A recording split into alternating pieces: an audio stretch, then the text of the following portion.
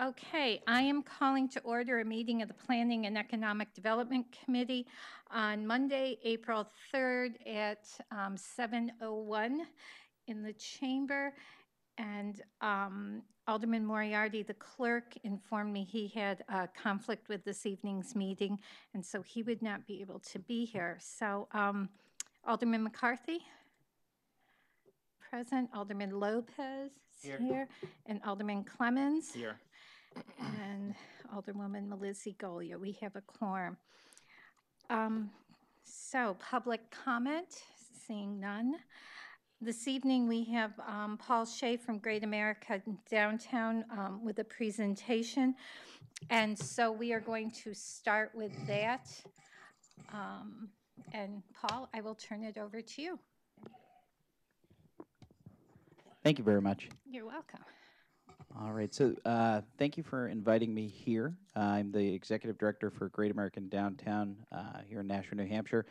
I am going to give you a presentation that we delivered uh, to the general public uh, a couple weeks back um, at our annual public meeting, uh, which is the second time that we've held that meeting. Uh, it's a good opportunity for the public to catch us and and uh, you know review the things that we've done in the year um, that has just passed and what we've got coming up in the year ahead, um, and also to give feedback on our programming. Um, and so we'll jump right in. Uh, so who are we? Uh, we are a 501c3 nonprofit organization with a mission centered around vibrancy in downtown Nashua, New Hampshire. Um, our mission statement is uh, Great American Downtown is a nonprofit organization whose purpose is to provide coordination, collaboration, and partnerships that unify the entire Nashua community around a common vision for an attractive downtown that is vibrant, viable, and truly reflects the character of our city. Excuse me, Paul, I don't know why, but it's flashing. Is it flashing? here. Yeah, Let me jiggle the cord here. okay. Has it stopped? Yes. Wonderful. For the moment. I'll try not to hit any of this stuff. All right, so how are we funded? Uh, we are funded by the city of Nashua. Uh, in in 2016, um, our uh, gross uh, receipts for the year uh, exceeded $200,000. Um, we received support from the city of Nashua um, in 2016 uh, to the tune of $35,000 um, for our general operations, as well as 10,000 uh, for a um, uh, lighting project that we managed uh, for holiday lighting this year. Um, that comes out of the general budget. Um, the city of Nashua also seeded a uh, fall music festival this past year, uh, which um, went really well. Uh, we have actually been able to um, uh, secure private funding to have that event recur this fall. The city also supported us by way of the Downtown Improvement Committee um, to uh, send funds to support the lighting project as well. The total lighting project um, was about $27,000, uh, 25 of which uh, came from the city of Nashua. Uh, we also um, are supported very much so uh, by sponsors for events and programs. Um, the Winter Holiday Stroll, for example, um, is one of our larger sponsor supported events, um, and we raised over $40,000 uh, from private uh, businesses and small donations, um, uh, you know, donations of all level to support that event and operations of the organization. Um, th- throughout our year of programming, uh, we have a, a whole host of, of partners that help us out and make those things possible. Uh, we also operate a number of events uh, which generate revenue. Uh, in 2016, we held the Taste of Downtown. Uh, it was the 22nd year, I believe, um, and that event generated a net of $24,000, uh, which supports our organization. Um, and uh, we also held the Farmers Dinner, uh, which was a 300 person, um, seven course meal uh, farm to table dinner on Main Street, prepared by local chefs um, in partnership with the Farmers Dinner business. Um, that event generated uh, revenue for the organization as well. Um, we have a number of programs. Some of them are geared more so towards raising funds. Uh, some of them turn a very uh, narrow um, uh, revenue. Um, we seek to not have any programs that operate at a loss, uh, if at all possible. Uh, we also receive individual contributions. That was something that we were a lot more active with regard to um, this this past year. Uh, we've received um, over $5,000 in support uh, from the public with small donations, which was really great. Um, during uh, the holiday season, uh, when the holiday stroll took place, uh, we raised $1,300, for example. Um, you know, asking folks, "Hey, you really enjoyed this? Um, could you help to support it and make what we do possible?" Um, so we we greatly appreciate the support of the public, uh, the city of Nashua, um, and our our sponsors uh, and those who patronize our events. Uh, what are we known for? Um, in in many years um, prior, uh, we've been known for a set of four core programs uh, the Nashua Farmers Market, uh, the Taste of Downtown, the Winter Holiday Stroll, as well as downtown marketing and events, primarily um, restaurant weeks uh, were a big thing that we were involved with. we have worked to grow our programming a good bit. Uh, over the past two years, uh, we've been very aggressive in building out um, our programs that we conduct. Um, so, in 2015 and 2016, new programs included uh, the Downtown Scarecrow program, uh, which features a set of about 30 scarecrows that are decorated by downtown businesses and community organizations, uh, which photos uh, of which are taken. Uh, folks go to social media and vote on them, um, and then we give out uh, nice little trophies with pumpkins at the top. Um, but that's a that's a point of interest downtown during the the fall season uh, Gate City Community Gardens, uh, which is an organization that I founded with a group of folks, including Alderman Lopez, uh, James Vayo, who now works in economic development, uh, Holly Klump, and, and Mike Chenard, and a couple of other folks, um, really worked to build that up. Um, to reduce the overhead, um, and as it is within our mission uh, for a more vibrant downtown community, uh, not just in the, the core of uh, downtown on Main Street, but as well as enhancing the quality of life in our downtown neighborhoods. We have worked to bring that program into Great American Downtown. Yes? You forgot Richard Maynard. Uh, and Richard Maynard, of course. Um, and uh, Tabitha Hughes. Um, and am I forgetting anybody else?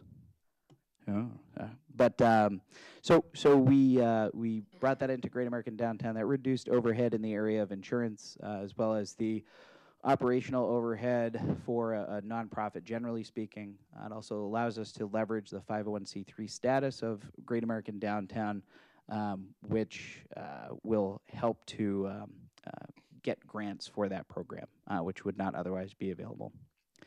Um, the Main Street Farmers Dinner, uh, we have conducted, uh, last year was our second time doing that event, which we touched upon earlier. the Eat Local Fall Food Festival, which is a um, stand in for Restaurant Week. Um, Restaurant Week has become a very uh, ubiquitous concept. Um, so, uh, to kind of help us stand out uh, and to build into our tagline of Eat, Shop, Live Local, uh, we have worked to develop this event. Uh, ties into our farmers market, um, our Main Street Farmers Dinner, um, as well as connecting our farmers market vendors with our local restaurants to use produce that is locally sourced um, and celebrate all of that around harvest time. The Nashua Farmers Market has grown significantly over the past two years.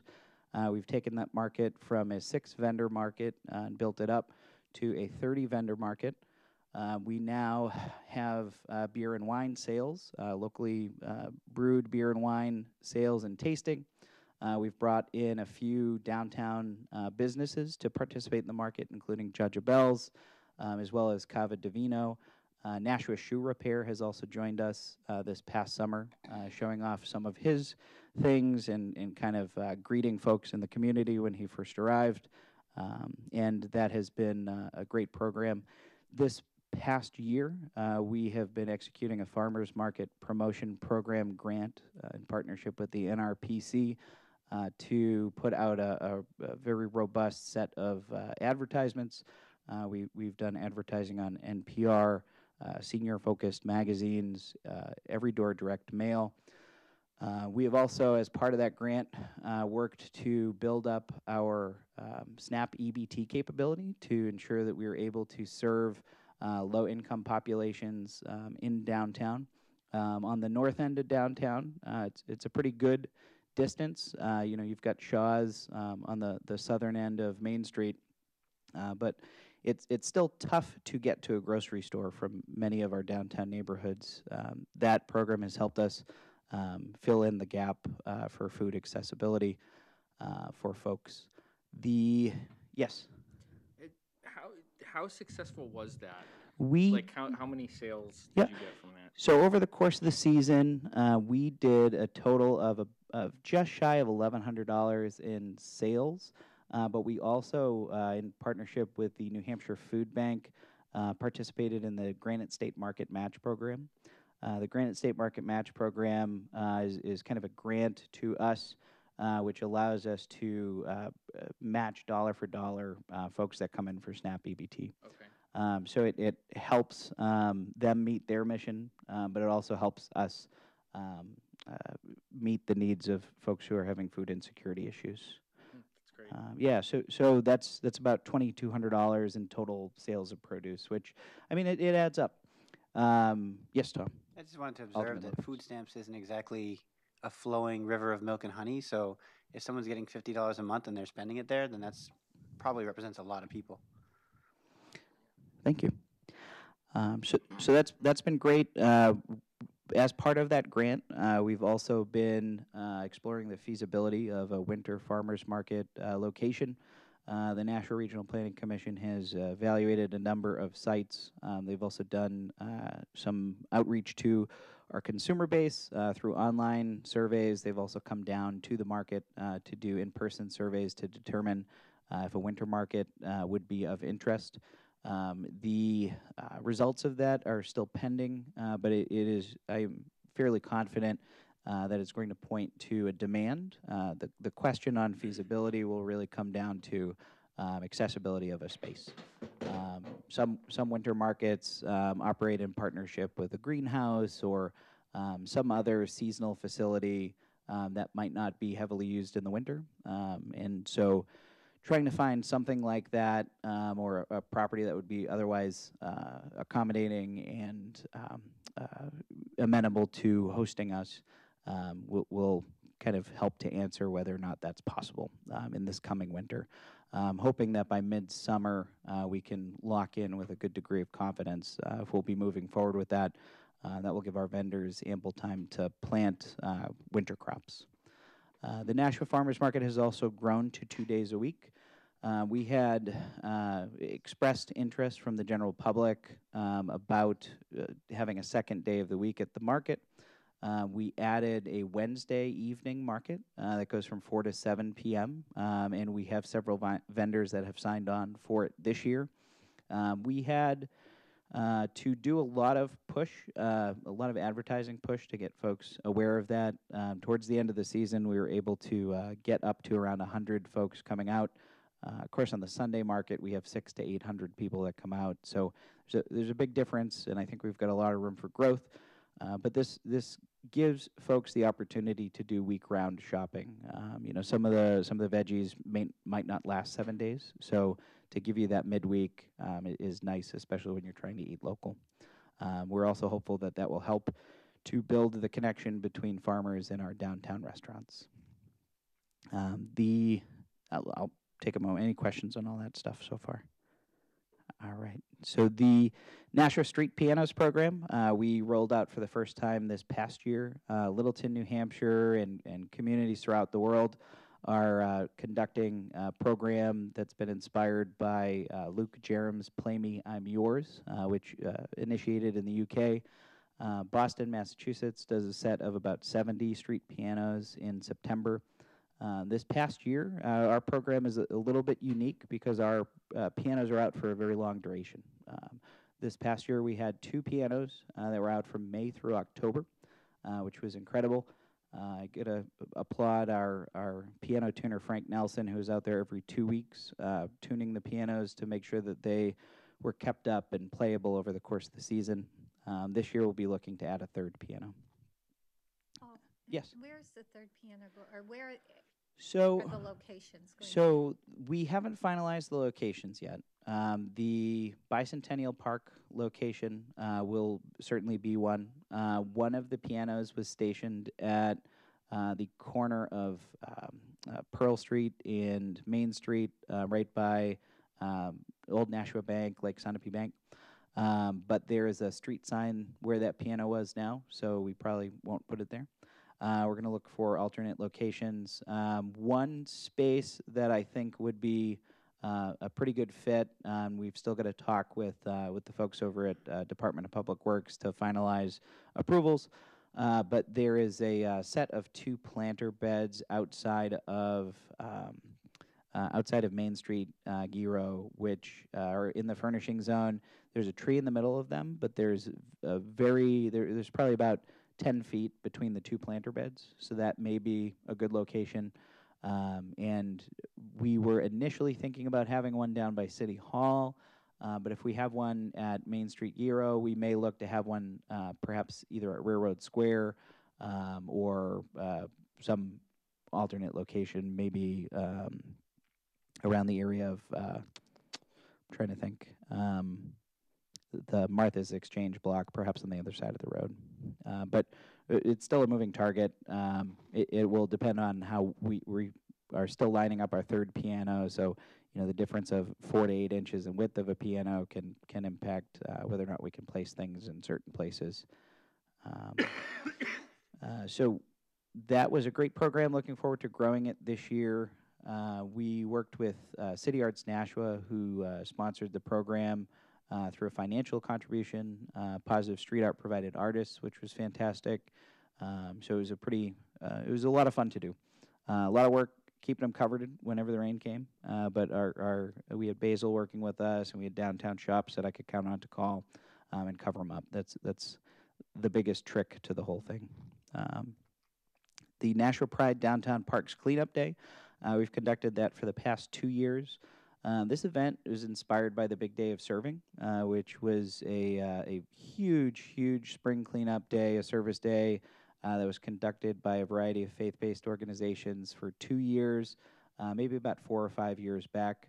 Um, we have worked to uh, build this spring cleanup day to help clear a lot of the detritus that builds up over the course of the winter. Um, the snowbanks melt, and all of a sudden, all of the uh, the litter and and uh, you know fallen limbs and things all become exposed. Um, this year, we're conducting that on April 22nd. Um, we had 80 folks in the first year. Uh, we had somewhere between 120 and 150 folks in the second year, um, and we were able to uh, clear almost the entirety of the rail trail, um, as well as some of Library Walk um, and a couple of other pocket parks. Um, this year, we are we have a goal of attracting 225 folks uh, to come and join us, and we're also adding a third uh, kind of meetup spot for this event um, at Mine Falls Park. Um, we have uh, we have folks meeting at Library Walk and at City Hall, um, and with uh, the uh, footbridge coming to Mine Falls Park, uh, Great American Downtown has grown more and more interested in being of service to uh, to help with the Mine Falls Advisory Committee with uh, some of the volunteer recruiting. Yes. Which entrance to Mine Falls were you looking at? Um, you know, I, I know that uh, Positive Street Art has a race that day. Um, w- I'm open to uh, Mine Falls entrance, uh, you know, alternate entrances. Just checking. Yeah. So we, now, where are you guys uh, out of? Are you down by? We were doing the Millyard entrance by the Nimco building for Oh. the Hearts and Minds um, 5K. Okay. So that, so that will not be it then. Okay. Thank you very much. Um, I, if I might make a suggestion, it's Yes. farther down the trail, but if you use the one over by the Boys and Girls Club, it might be accessible to Boys and Girls Club people who want to volunteer. That's a great idea. Thank you very much. Um, so that that's been a great program. Um, the holiday lighting program that we conducted this past year, uh, we formed a committee. Uh, uh, we had some uh, aldermen, business folks, um, and, and we worked through uh, reviewing a set of products, evaluating costs, uh, trying to see uh, what we might be inspired by in other communities through photos and through um, you know just looking at what's out there. Um, we ended up selecting a set of garland products for the, the poles up and down Main Street. Uh, we also uh, got a set of orb products that hung in the trees, uh, which kind of complemented each other nice.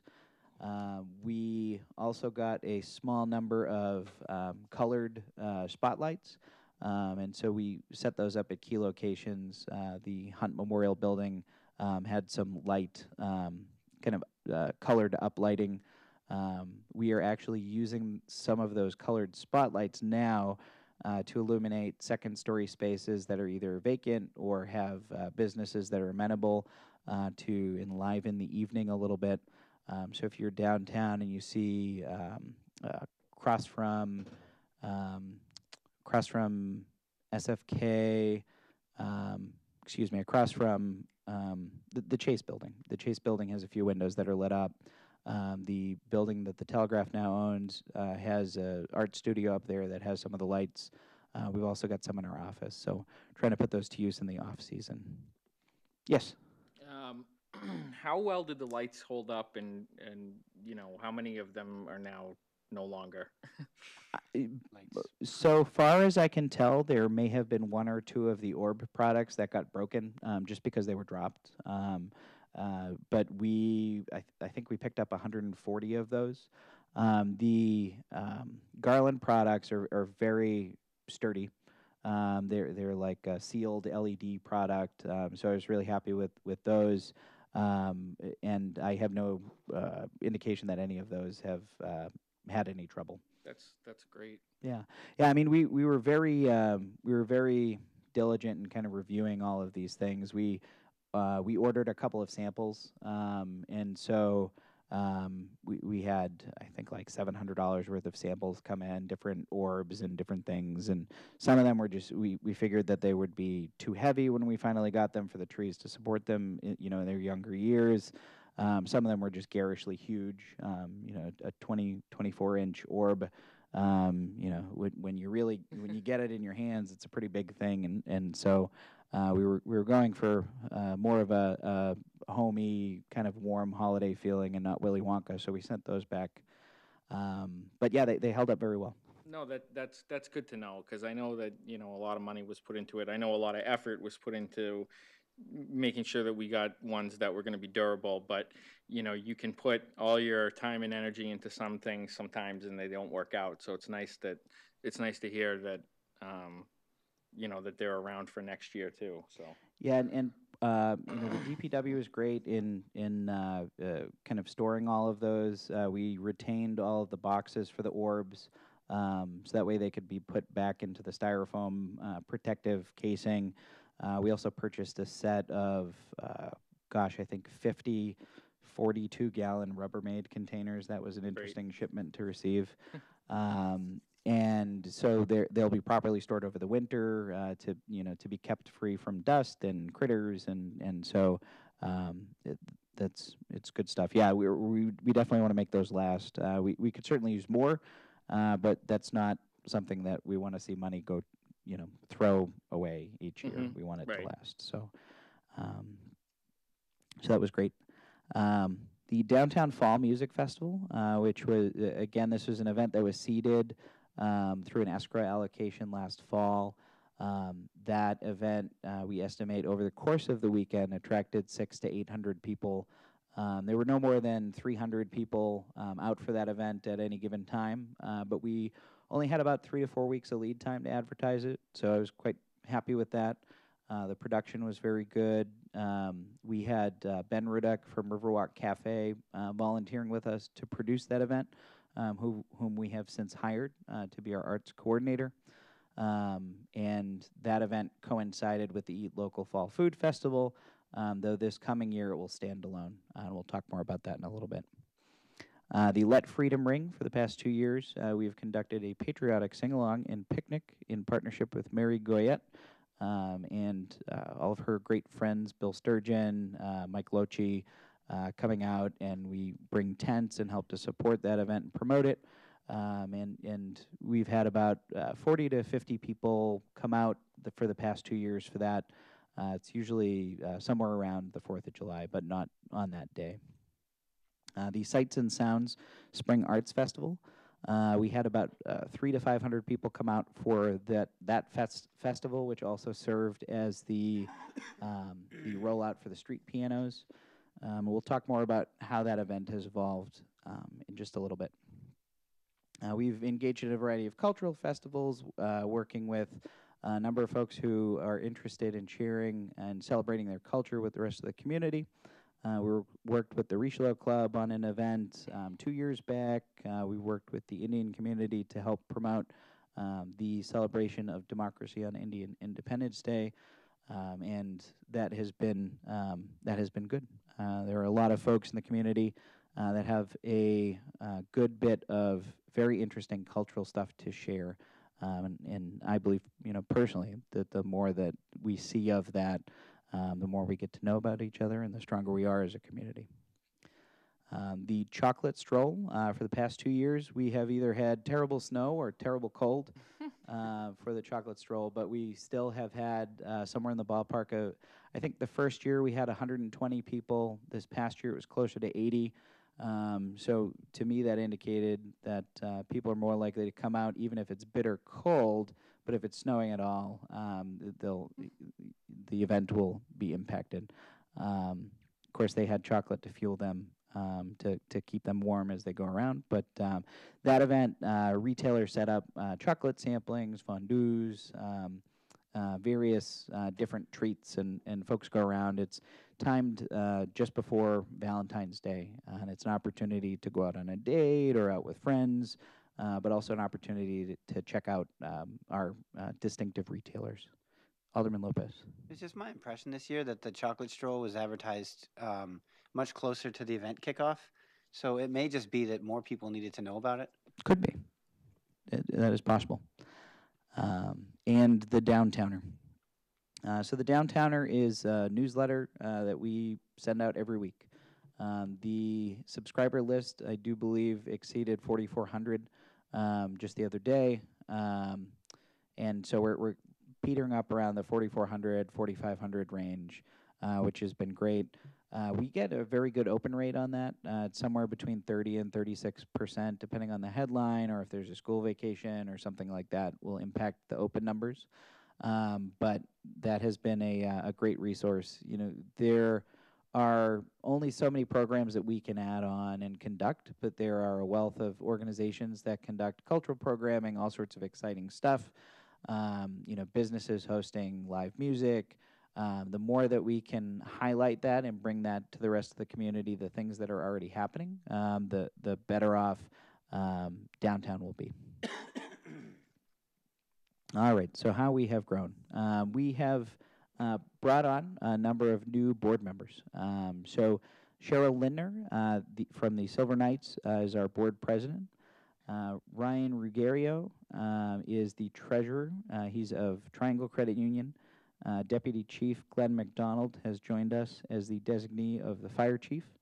Uh, Sergeant Tom Bolton has joined us as the designee of the police chief. Um, and kind of for a refresher, if you are not aware, um, our board's composition uh, by virtue of our bylaws um, includes a designee of the mayor on the full board. Um, the mayor sits in an advisory role on our executive committee, um, the police chief uh, and the fire chief also have a designee on the board, um, and those are seats without limits. Um, they are just as a matter of designation. Uh, Deb Rapsis uh, from St. Patrick's Church has joined us. Uh, Carol Eyman uh, from the Nashua Public Library. Uh, Carrie Gleason from The Nature of Things. her family also owns a piece of property at 57 Factory Street, which they're working to develop a project at. Alderman Tom Lopez um, and James Vayo, uh, the economic uh, development downtown specialist, uh, is also on our board. Um, Tom and James were both nominated to the board um, prior to their current roles, uh, but we were very happy to have them. Uh, they are downtown enthusiasts through and through. All right, new staff team. Uh, so I had mentioned earlier, Ben, we, we in 2015 had a staff of myself um, and one part-time person for 10 hours per week. Um, in 2016, we grew that a good bit. Um, we have hired Ben Rudick as our arts coordinator. Uh, he works 20 hours per week. uh, developing some of the uh, music and arts programming. Uh, he's done a lot of work with the piano program this year uh, and a, a whole lot of work um, developing the music festival series. Um, he's also been an integral part of uh, reviewing the concept of a music hall at the uh, Central Fire Station, uh, which is still in development. Uh, the marketing coordinator, uh, Carolyn Wally, uh, she was a UNH business student, still is, but she was an intern with us, um, and we've hired her to come on for 12 hours a week. marketing intern, Crystal Lee Cobb. in this past year, we also hired two staff members um, as part of the execution of the uh, Farmers Market Promotion Program grant to help get our EBT system up and running uh, to help facilitate the growth of the market. Um, and so we brought on Jen Miller as our market day coordinator um, and downtown steward Basil Mansfield, um, who assisted with the setup and breakdown of the farmers market, uh, but also uh, with the monitoring of the uh, street pianos and, and a variety of other uh, amenities that we manage. Um, so the audience, the downtowner, um, over this past year, um, in, we've grown it a good bit, uh, about a, a thousand, eleven hundred. Um, Facebook has grown significantly. Um, our following has gone from 4,500 up to over 7,000. Um, we've also grown a good bit on Twitter and Instagram, um, but those are not really our primary, our primary uh, social media mediums. Yes. How much of your Facebook growth is directly attributed to Pokemon?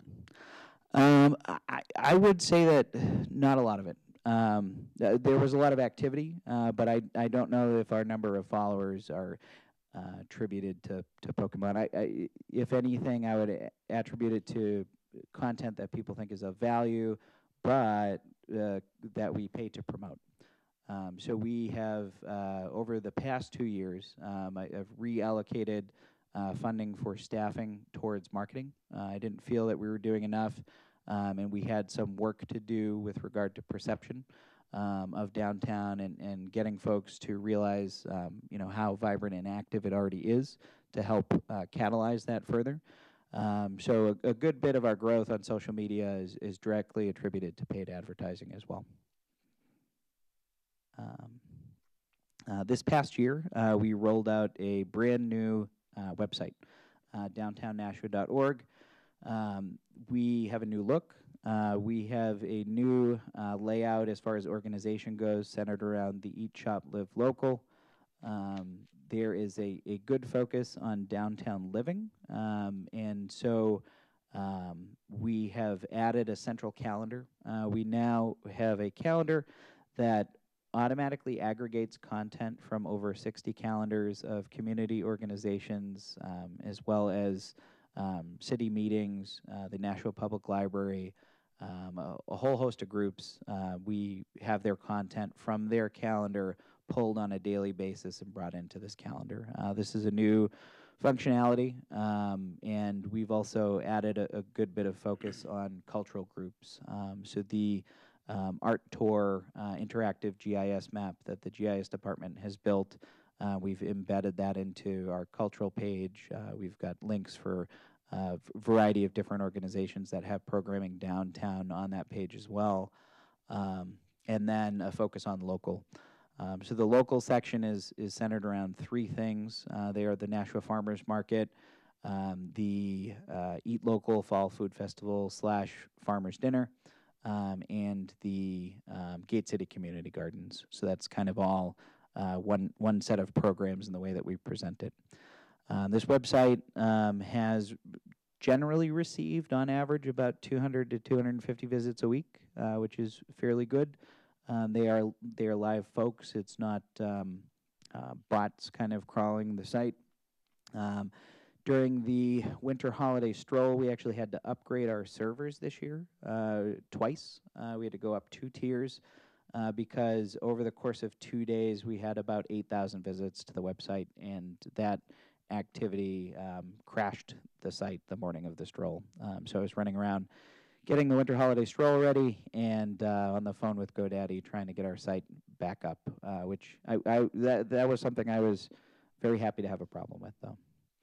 Um, this site also ties into our newsletter. Uh, there, there's a pop-up uh, going to be working to um, um, going to be working to have the behavior of that be a little more nuanced. Uh, some folks have felt that they're not a big fan of the pop-up, but at the same time, we get about t- 15 to 20 new signups to the newsletter a week, um, just based off of um, um, website visits. Uh, with the music festival coming up, and then with the advertising associated with that, uh, we have uh, gone from 200 to 250 visits per week um, up to uh, about 150, um, uh, 150 to 250 a day on any given day over the past two to three weeks, uh, which is exciting to see. Um, so this is the new central car- calendar. Um, it's not very impressive. Looks like a calendar. Um, but when you're actually on the site, you can go through, um, you can search based on event type, uh, organizer, um, is it a free event, um, and we've kind of gone through a lot of this information already. All right, we've already touched on the fact that we will be growing the Nashua Street Pianos program uh, to a total of three pianos. Uh, the Gate City Community Gardens uh, project has expanded. Uh, we will be adding 12 additional garden beds on the April 22nd um, Nashua Pride Downtown Parks Cleanup Day, which is exciting. Uh, that's thanks large, uh, largely due to a donation from New Sky Productions, who conducts a. they participate in a program called One Percent for the Environment, where they they donate one percent of their um, gross sales to support environmental causes, which has been a boon for the community garden project. Um, this past fall, we built the fencing um, out there. Um, in partnership with the United Way. Uh, and we'll be uh, building that up and uh, creating more opportunities for gardening along the Nashua Heritage Rail Trail um, in the Tree Streets neighborhood, which is exciting. Um, yes, Alderman Lopez. Just for people who are watching in the audience, can you tell them how to contact if they want to sign up for a bed and how much they'll cost? Yep. Yeah. So the uh, the bed fee uh, is thirty five dollars. Um, they can sign up uh, by contacting us either through Facebook um, or through uh, email, which can be found on the website. Uh, they can contact me directly if, if they would like. Um, all of that stuff comes through me anyway. So uh, my email address is paul w shea at downtownnashua.org. Uh, on the application uh, for the uh, the community garden, there's also a section where you can check it off um, that says, you know, I'd, I'd, really like to garden, but don't have the financial ability to pay for the fee. Um, if someone checks that off, we don't ask any questions. Um, we just invite them to join us um, because part of the the goal of that um, is to get more folks from the neighborhood um, engaged with one another and with the uh, you know with the maintenance and betterment of our public spaces. and and so we don't want ability to pay to dissuade anybody from how that, um, you know, whether or not they're able to participate. Um, the Nashua Farmers Market will continue to grow. Uh, we are very excited uh, to share that we have Miles Smith Farm joining us. Um, they do uh, beef and pork products, um, and they will they have a CSA, uh, a protein CSA, um, and they'll be joining us on Sundays at the market, uh, which is very exciting. That's one of the few remaining things that I've been trying to to bring into the market is some meats. Um, yep. Yeah, and now now I've just got to get the cheeses. So if we can get the we get the meats, if we can get the cheeses, we'll be in we'll be in tip top shape. Um, just not if you eat too many meats and cheeses. All right. So growing in 2017, this is not our event, but I am very excited to share that the Nashua Telegraph has moved downtown. Uh, we are partnering with them on events, um, you know, wherever possible. Um, they have conducted an event um, uh, for a number of years called Motor Mania out in Hudson. Um, the Motor Mania event, um, they, have got over 100 classic cars that come out for that, lots of folks. Um, and so, uh, sometime in June, uh, we are working with them to make this possible in downtown Nashua. awesome. Yeah, it's it's very exciting. You know, a car show is something that a lot of folks have been asking for. Uh, they they think it's a great idea. Uh, not exactly the lowest hanging fruit um, for, for for me anyway. So um, I'm, I'm very pleased that they are they are doing this. I think it will bring a lot of excitement. Um, I wouldn't be surprised if over a thousand folks come out to downtown, uh, which can have a very real um, economic impact. But uh, all that, it's it's just fun. Um, uh, James Vayo in economic development has worked with us to develop a um, kind of a layout for uh, how these vehicles will be best placed. So I really appreciate that. Um, and we've helped the Telegraph um, uh, become accustomed to the city permitting process um, as they have operated at a, a swath of land in Hudson for some time. Um, the, the the permitting process is not exactly um, you know, for these larger events is not exactly something that they've been too up on. Yes, sir. I, I have to ask, did James recommend reverse angle parking or for, front end? Um, the I believe the image shows the vehicles parked in a variety of reverse and head-in angles. Okay, so nothing there. Yeah, no. Um, uh, we love that back-end angled parking though. Um, so this is exciting.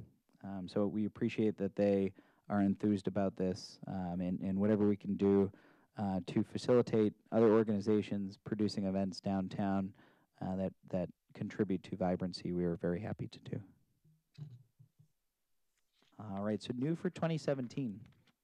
Um, also, um, the last five years, uh, we are producing our first piece of musical theater, uh, which is very exciting. Um, I, I personally have been involved with a number of productions uh, with Actorsingers and stagecoach productions. Um, I also serve on the board for Peacock Players. Um, I have been contacted by a group of um, a group of folks uh, who are interested in uh, in bringing a two-person production uh, to Nashua. The two-person production isn't really something that fits the model for a lot of our current community theater organizations. Um, ticket sales, engagement, uh, a lot of these things are driven by the cast size. Um, and so, for uh, organizations like Actorsingers who are trying to sell out Keefe Auditorium, which is a very you know sizable venue, uh, for um, you know folks like uh, Stagecoach Productions, who are a smaller uh, uh, production house, Nashua Theater Guild, um, you know, having a large cast uh, just you know it, it brings more hands, lighter work, and more folks to come out to see their friends and family perform. So this wouldn't fit the mold for uh, our established community theater organizations, and so they, they said, hey, you know, we we were looking at this license, and um, we need an organization that can actually obtain it. Would you be open to that? Um, and so we are very pleased to do that. Um, the last five years uh, as a piece of musical theater, uh, the story explores a five-year relationship between Jamie Wellerstein, uh, rising novelist, and Cathy Hiatt, a struggling actress. Uh, the show uses a form of storytelling in which Cathy's story is told in reverse chronological order, uh, beginning uh, at the beginning of the show and at the end of the marriage. Um, and Jamie's uh, is told in chronological order, starting just after the couple's uh, the couple has first met. Uh, the characters do not directly interact except for a wedding song in the middle um, as their timelines intersect. Um, so it should be very interesting. Um, they have uh, put up uh, funding to secure the license, um, and so this will be a kind of a, a zero sum uh, operation financially. Uh, but we're hoping to uh, draw a couple hundred folks down over the course of that weekend uh, for this production. Um, you know, having an organization like Great American Downtown in the community to facilitate these projects um, that require an organizational structure, um, but would not necessarily be well suited to being their own organization um, is is great. I mean, we we are happy to do that. So if there are folks at home that are interested in doing something um, and they'd like to to kind of pitch it to us and partner with us, um, you know, we, we are very open to that.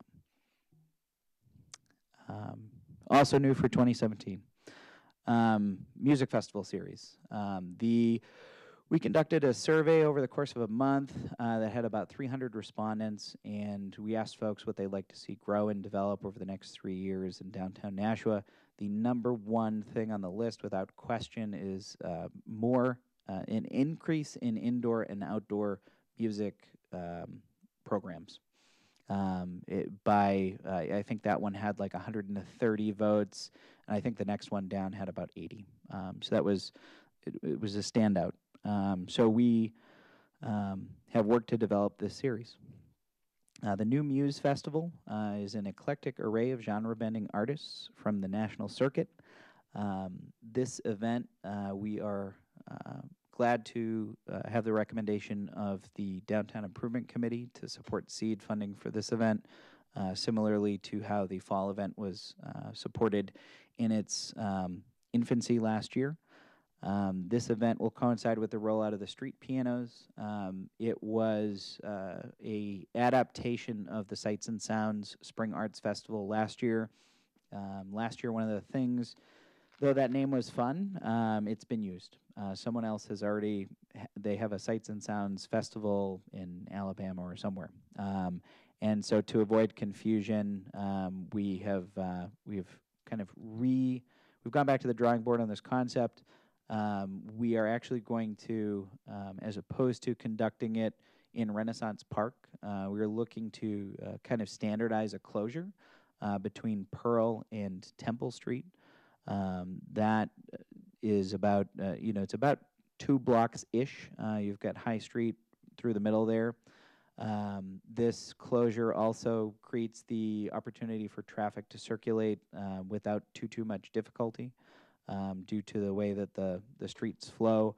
Um, so we're looking to standardize that so that way we can have an established um, approach to this um, and make it easier for uh, you know all, all the folks that are involved uh, with the closure, including the police and DPW. Um, uh, the same closure we would seek to use um, for the uh, the car show uh, with the Nashua Telegraph. Um, so the New Muse Festival uh, is taking place on May 6th. Uh, the uh, piano rollout starts at uh, 10, um, I believe around noontime. Um, Art Ventures uh, through City Arts Nashua is conducting a program called Comeback Kitchen Table, uh, which is a, a set of community decorated kitchen tables, which will demonstrate um, the challenges that the uh, American family faces in the 21st century uh, with regard to technology and all of our life's distractions um, to remind us of the value of sitting down at the kitchen table for a conversation and a meal uh, without your gadget. Um, so that that's exciting. Uh, we will also have an arts market. Uh, we're going to have several food trucks there. Uh, we are also, uh, due to uh, the interest of the community, we have raised two additional um, satellite stages for this event. So not only will we have a main stage on Main Street uh, with music going from 1 p.m. all the way to 10 p.m., uh, but we will also have a rock stage um, along the um, uh, the I think it's I think you'd call it an egress behind Riverside Barbecue um, through the parking lot and the pathway there. Uh, there'll be a stage set up out there that will feature local rock bands with original music. Uh, the gazebo at the um, uh, at Railroad Square, uh, the Duchesne Oval. Uh, we will have programming there as well, some more easy listening. Um, earlier in the day, we have a children's performer.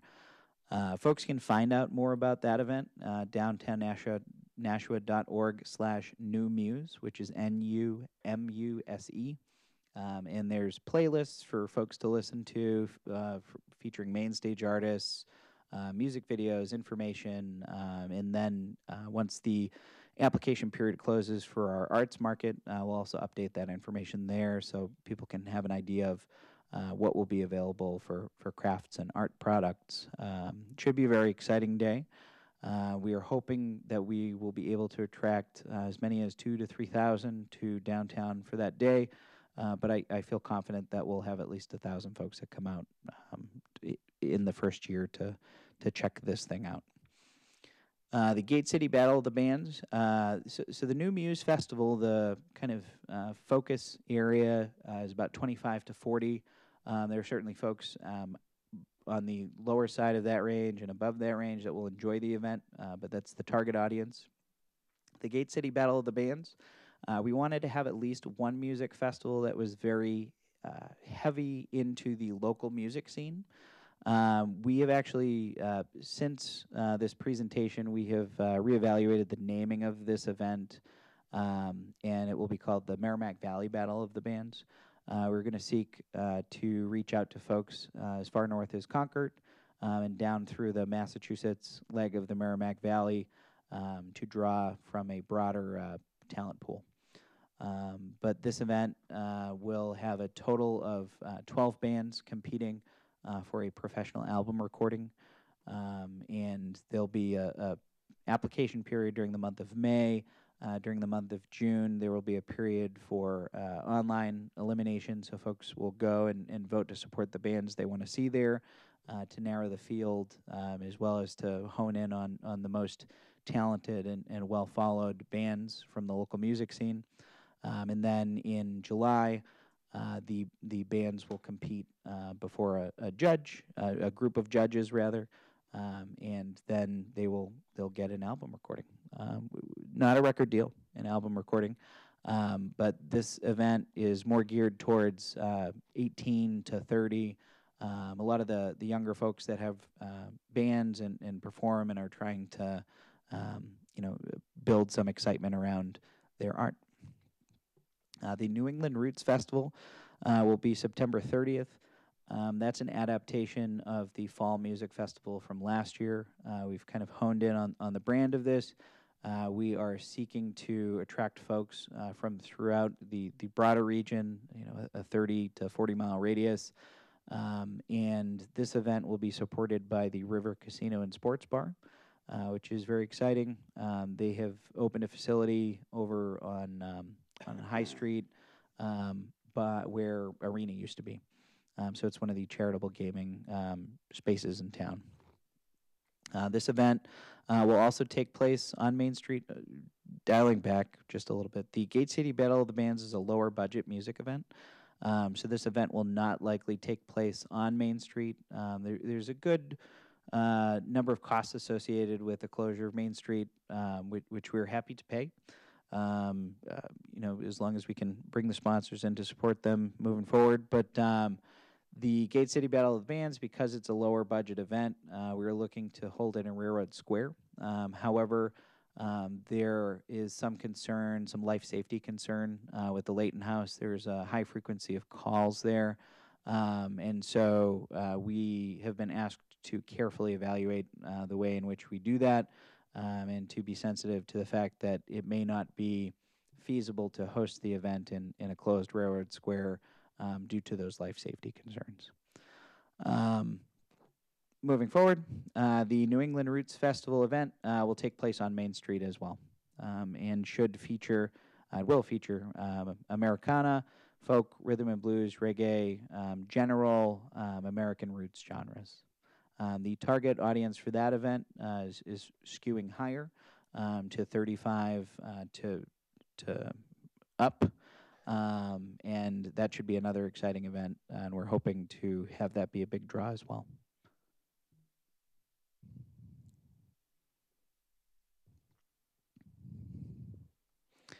All right, so volunteer recognition. Um, we've got Crystal Lee Cobb, who's been an intern with us um, Celine Blaze, uh, Winter Blaze, Kevin O'Meara, Mike Watt, Ethan Smith, Brandon Jones, uh, Brandon Lee, and Nick Jones um, have all done over 100 hours of volunteer rec- uh, volunteering um, this past year.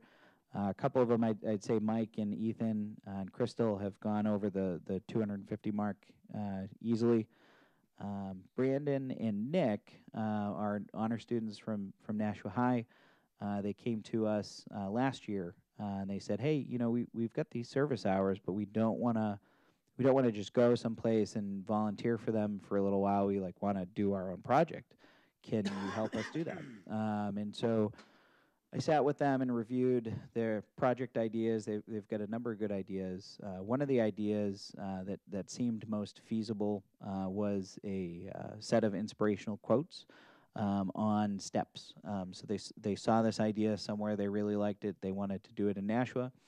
Um, they thought that doing this at the public library would work well, um, and they'd do literary quotes. Um, so if you're coming up the back stairs from the library walk, um, up to that kind of little round paved area. On those steps is a set of stenciled quotes, so Dr. Seuss quotes and um, uh, just kind of inspirational slash literary quotes. Um, so they were very proud of that, um, and and you know I'm very very glad that they did that. Um, uh, I think it was Tom. Was it Rick who helped them out with that? Yeah. So Rick. I was surprised I didn't see him on the volunteer list, actually. Oh, right on. Um, oh yeah. I'm gonna have to apologize to Rick personally. No, I I I owe Rick Everhard a uh, a, uh bit of recognition. Um, he did a good bit with uh, supporting the Nashua Farmers Market this past year. Uh, he came out most every week to help out with that. So, Rick should certainly be on my list. Uh, but Rick also helped Brandon and Nick with their project, um, so we we appreciate that.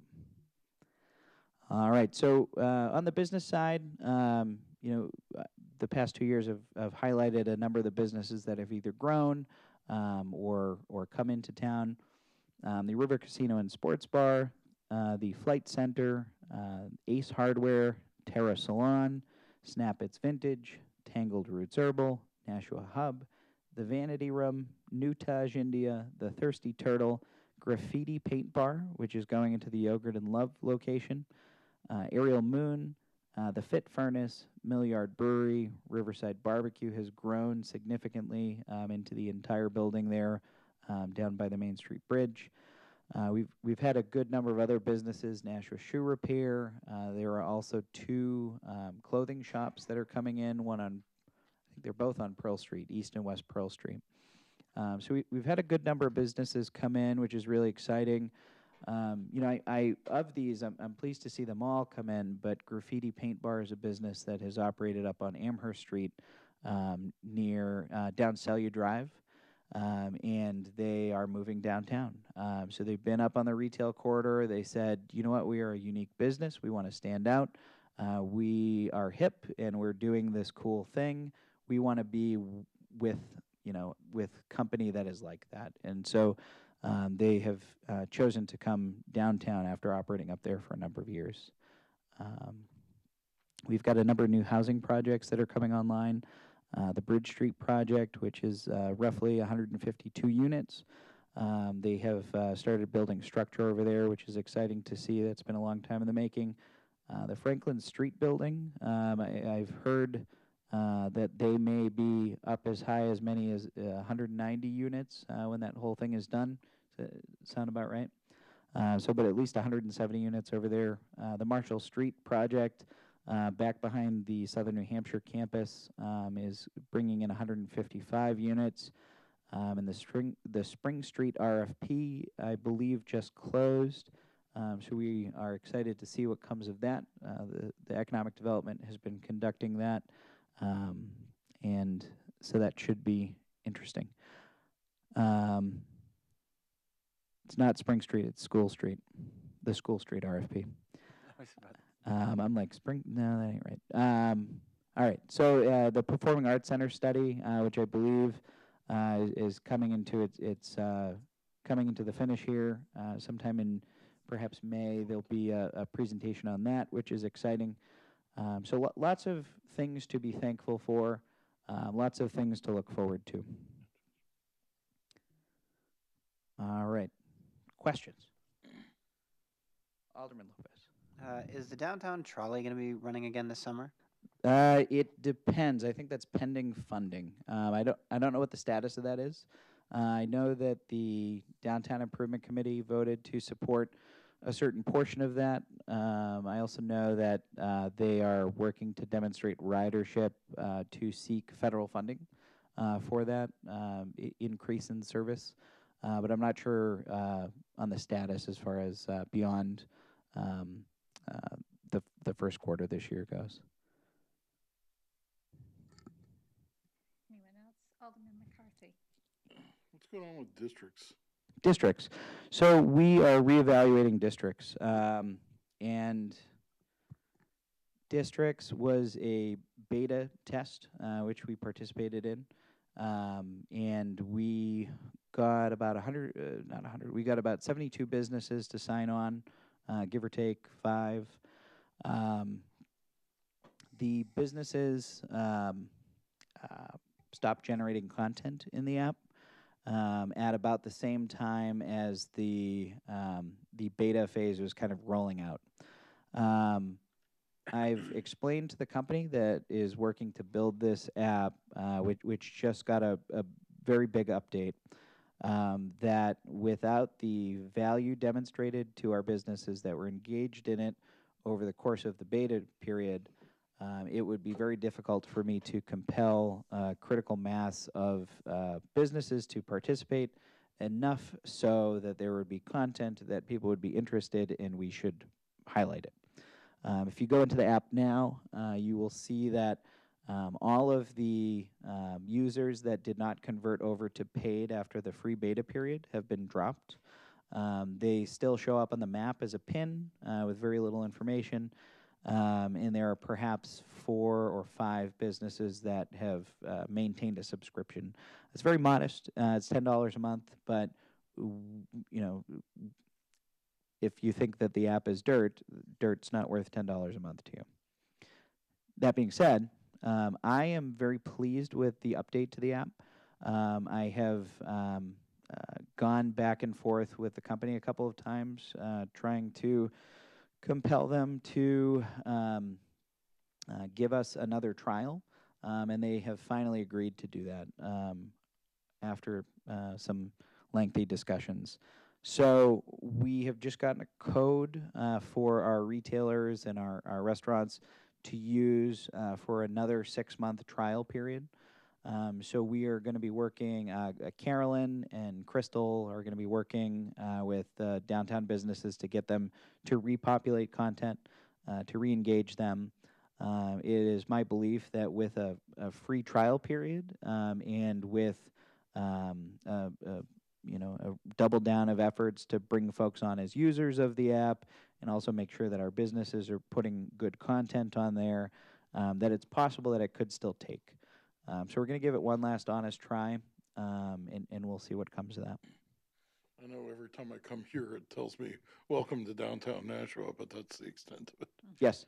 Yeah, that's probably all you get. Um, no, we're, we're going to work on it. I'm, I'm hoping it takes, but, but we'll see. Is there some, do we know of some other equivalent app that might be more appropriate? Um, I, I want to say there's no that might be more appropriate. No, I mean there there's a there's a number of people that are trying to do what they're trying to do. Um, none of them are any more robust than the original beta was. Um, I, I think that this new setup um, is, is it, it's it looks good. It looks really good. The user interface is nice, um, and it and it's got some real potential. On the longer term, um, of course, everything costs money, but this would cost money. On the longer term, we have the ability uh, within the app to set up uh, custom customized application features. Uh, for example, uh, someone could program into the application a, um, audio, a self-guided audio tour um, that you could um, um, opt into. Um, and so when you're on this self-guided audio tour, you have a little map. It shows you where you are on the map. You walk to one of the pins. Um, say it's a tour um, that almost mimics the uh, the GIS art tour map. Um, when someone arrives at that site, um, either through a, a, very small geofence or through a Bluetooth uh, iBeacon, um, it could trigger the app to give a um, um, an audio presentation. So that audio presentation, what I have in my mind is, is a cool idea would be if we could get all of the artists for these works um, to do a brief description of their inspiration um, and have a little photo pop up of, of the artwork so that you make sure that you know what you're looking at, you know, you're looking at the right thing. Um, I think that would be really cool. I think that would also increase uh, folks' general engagement with the app, and then some of the the taking advantage of the offers and things that are within the app could be uh, catalyzed a little further. Um, but they're looking for, I think, two hundred dollars a location to set up that that custom feature. Um, so if we had uh, you know, if we used both the sculptures and the murals, um, we're looking at like an eight thousand dollar investment. So, I, Yes. If you find the eight thousand dollars, I will graciously surrender my several mural tour participants every year. Excellent. Thank you.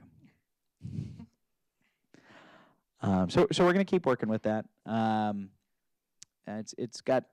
I- I still think it has potential. Alderman Clemons, you, I, I just want to say that I'm, I'm very impressed with everything, um, Thank you. as I have been since you've taken over the position. Um, I think, you know, Great American Downtown has only gotten better uh, in the in the last few years that you've um, been at the helm, and I have to say that um, uh, you know its future is is very bright. Um, you do a great job. I think the things that with the music festivals trying to reach out to a broader than just the Nashua area, but you know the Merrimack Valley or all of New England, things like that, is an awesome uh, thing to do. I I believe that Nashua can become uh, a destination, particularly around the arts and music, uh, things like uh, like that. Um, and the market and the focus on marketing, I think, is is is key. Um, it's something that you know we this city's been lacking for forever, and uh, the fact that you know there's an organization that's putting money into that, I think, is is great. Um, so all I would say is you know keep up the good work, and uh, and you know you you certainly have my support. Thank you very much. Uh, it, I, I really appreciate all that. Um, it's it's worth noting that for the past two years we have um, we have taken staffing funding and put it into marketing. Um, this past year, I have dialed that back a bit so that we can start uh, amping up the staffing. Um, but I, I think that um, perception uh, and awareness of what's good about downtown and that downtown is good driving that is so incredibly important. Uh, the- the perception is one of, i- in my view, uh, one of the one of the greater challenges that we've got. Uh, but but we've made a lot of headway. Alderman Lopez. I think that uh, all of the activities and events and um, promotion that you're doing really complements the investment the city made in the downtown sidewalks and, and Mhm. infrastructure improvements, the lighting, um, and that having people use the space really brings that value out. Um, so I want to thank you too, as the, the downtown, the alderman for the Ward Four downtown, um, and I want to encourage you to continue finding ways to get people to use that space. Um, I I'm sure you're already working on, on ways to do it, but I would also encourage you to think about the east and the west directions too. Um, you started we started a, uh, an interesting step with the uh, the oval, the courthouse oval, but that space isn't really connected with anything downtown. Um, there's a lot of really um, energetic businesses on West Hollis and on uh, West Pearl that again could use a little bit more direct connection with downtown. Thank you very much. Yeah, the the Main Street uh, sidewalks program has certainly been a positive, uh, and it will continue to be so uh, on the long term.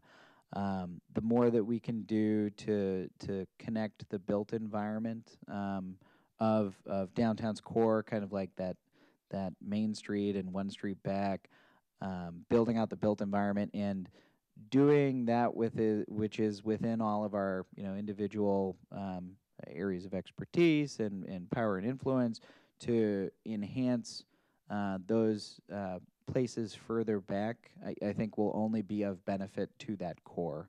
Um, it's it's my view um, that the quality of life and perception of our downtown neighborhoods is inextricably tied to um, to the the performance uh, on an economic level um, of of that core. So um, I, I I appreciate that, and we, I certainly will continue to work on that stuff. Anyone else? Well, I would just like to thank you um, for being available on such short notice. Um, Paul and I talked about this after he gave the presentation at the annual meeting, so I'm glad we were able to make it work. And um, I think certainly anyone watching and seeing the diversity of events and activities and, and how things have grown, um, if they're not aware of what we're, what was going on downtown, um, they should certainly now see there's um, much more there. And I think one of the really great things about it is we're bringing people into downtown who, as Alderman Clemons said, may have never come down here before. It was like, oh yeah, it's the stroll, it's the taste of downtown, you know, it's those four or five major things.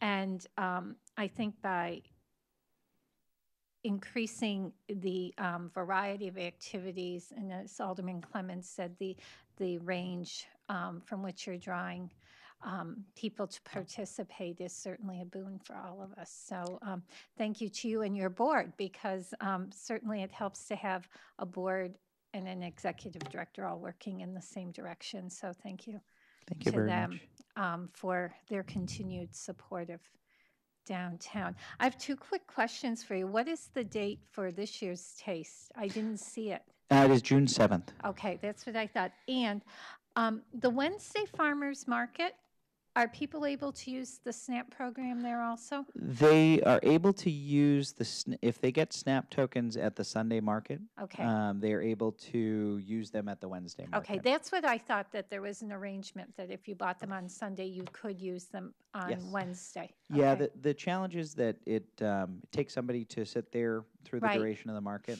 Um, and, and we, it's just not feasible to have a staff person, um, it- or, or myself there. Yeah, no, and I, Um, I just, I think it's important for people to know that there is a way, again, if you have a small refrigerator or, you know, you don't want to, you don't think you can buy everything on Saturday, and because you do kind of get two for one with your SNAP benefits, that if you purchase enough in advance on Sunday, you can use them on Wednesday. So, thank you.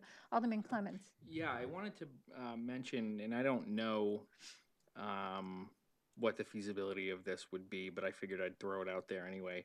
Certainly, a, a, a big um, venue that's not used in the wintertime would be Holman Stadium for a, uh, you know, a market. Um, I don't know where within the stadium there's the, you know, where it's heated and things like that um, but it might be worth looking into only because it's, it's a facility that's really not used Mhm. in the wintertime. So you wouldn't have that conflict that you mentioned um, with facilities that are trying to be used year round. So um, it's also on the bus route too. Uh, so folks could could get there. So just throwing that out there as a, as a suggestion. Thank you. I, I will, uh, float that to NRPC so that they can take a look at it. Great. Any other comments, questions? Well, thank you. I, I want to thank you guys very, very much for having me, um, and, and thank you, Al- Alderwoman Melizzi-Golja, for inviting me this evening. Um, you know, I, I just want to say um, we really, really appreciate the support of the City of Nashua and the Board of Aldermen, uh, particularly uh, with regard to, to um, seeding things and giving us the opportunity to try something out, demonstrate that it works, and um, and prove value. Um, so, so thank you for all that you do um, and, and the confidence that, that you have in us to, to execute our mission. Well, thank you. So um, we have some more business, so just feel free if you would like to stay here or go home, which, I'm going to go home and see my wife. there you go. Right. Thank you guys very much. You're welcome. Thank you. Um, So. Oh, um, can I can I give you? I just want to give you collateral, um, if if you don't mind. It was uh, just a mailer that we did uh, for the farmers market, just to show you kind of some of the product that the NRPC Oh, sure. helped us put together. Thank you. Do you have an extra one? I can, I'll include it with the minutes for this meeting.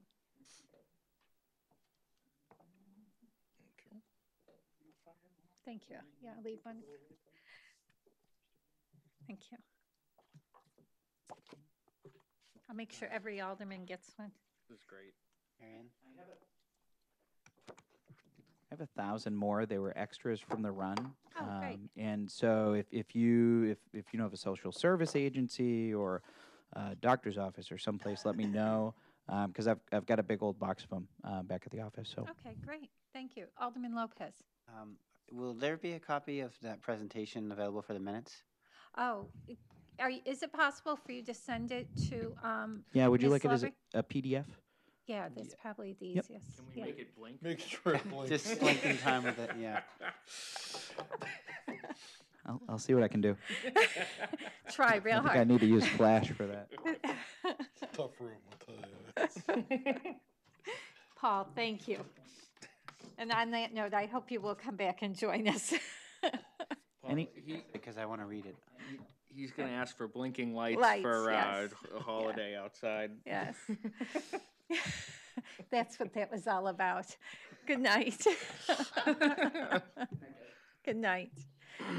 Um, so moving on with our agenda, communication, we have none, unfinished business, we have none, new, um, oh, I'm sorry, I skipped discussion. We have, um, you received the draft notes from Strategic, um, Planning Committee, and it looks like this. And, um, every group that has a representative on that committee was asked to do a ranking, and um, if you thought there were some of these areas that could maybe be rolled in together to give us that feedback. So um, I was glad we were able to have this meeting because I really didn't want to speak for the committee in putting this together. So I didn't know what thoughts people had about, um, like maybe top five priorities. Um, education, public safety, long-term financial planning, efficiency, HR and labor, library, natural resources, complete streets, land use, economic development, infrastructure, public transportation, downtown, and city arts and cultures, and culture, I'm sorry, it was the, um, those were the broad areas that were, um, that were identified um, with more items under some than others, but um, not to indicate that that impacts the importance. So, yes, Alderman Lopez. I just really would like to see um, attention given to the Complete Streets initiative because I feel like with a lot of the city design and planning, we're leaving a lot of our population on the table if we don't consider the impacts of pedestrians, especially with an increasingly large elderly population and an increasingly urban population, which isn't just people who use a car to get around, they use multiple modes of transportation. I think it's important for us to integrate that into our plans and really have that plan for it. And I would just, um, to your comments, um, it- under complete streets, there actually, there are two items, and again, not to say that this is not an important area.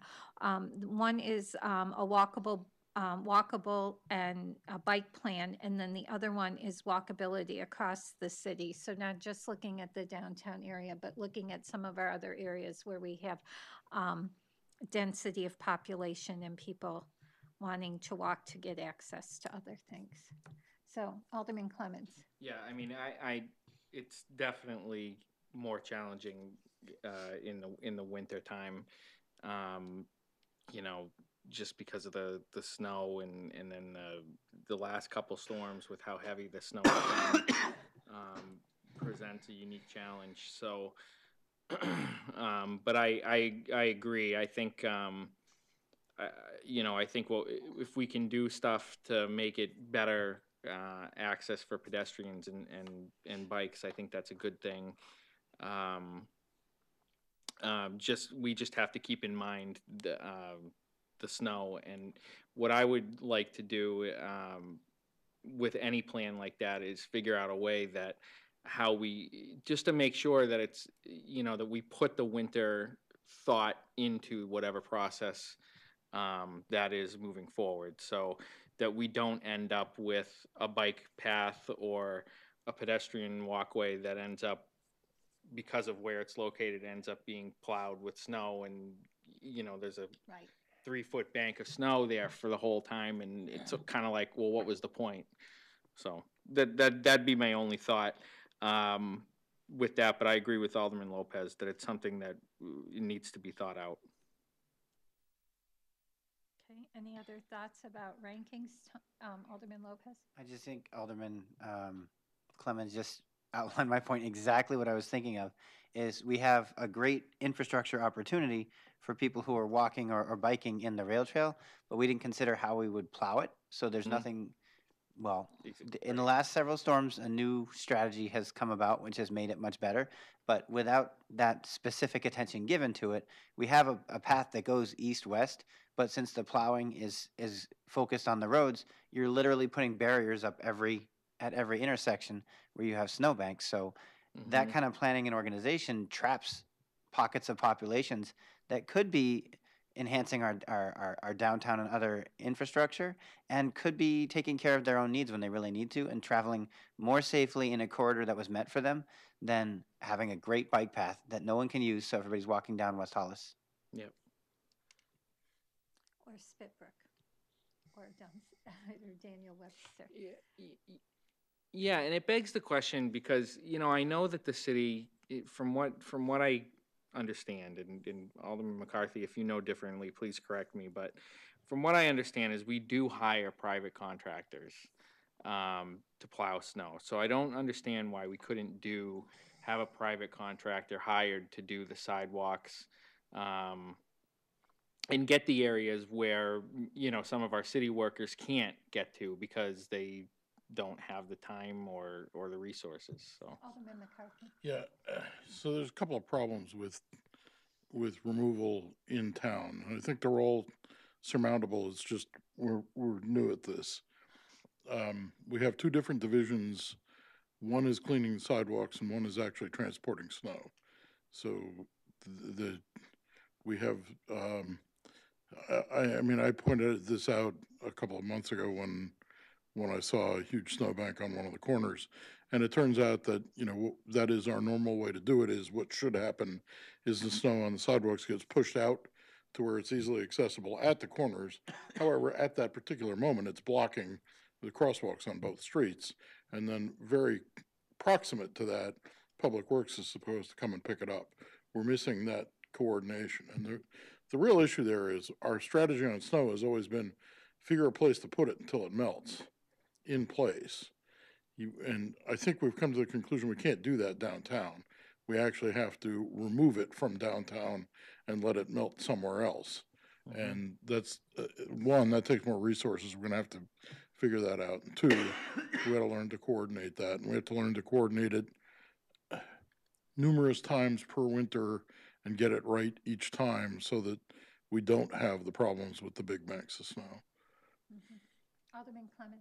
well i mean pla- i i have to say i uh, you know and i and i expressed this frustration at, at a finance meeting um or you know earlier a- after not this storm but the previous storm M- my street now granted i live on a dead end um i live on the dead end part portion of ash street but i- you know it wasn't touched at all until i called uh, and I called at nine o'clock at night. Um, and the snowstorm had been done, and done and gone. And when I say it hadn't been touched, I mean no plow had gone down the street. Um, the, you know, I had probably five or six constituents call me throughout the day, similar situations. One street didn't get plowed till three in the morning. Um, and so, you know, that's something that we need to work on um, for sure, uh, just in general, because there should not be a snowstorm where any street gets left until the end of the storm. And the reason being is that it's a safety hazard. You have to have at least, you know, a, a- swipe through every now and then so that a fire truck or an ambulance, an ambulance actually in, in one of those storms got stuck.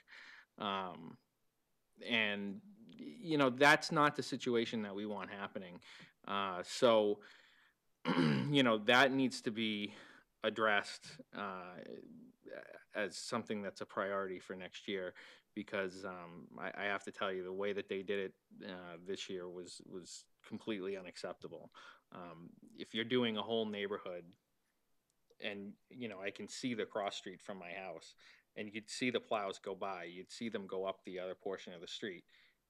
It's it's like, come on, guys, just take a swipe down, you know. And not to say that, I mean, tho- those guys work tremendous hours. They do, uh, you know, a great job.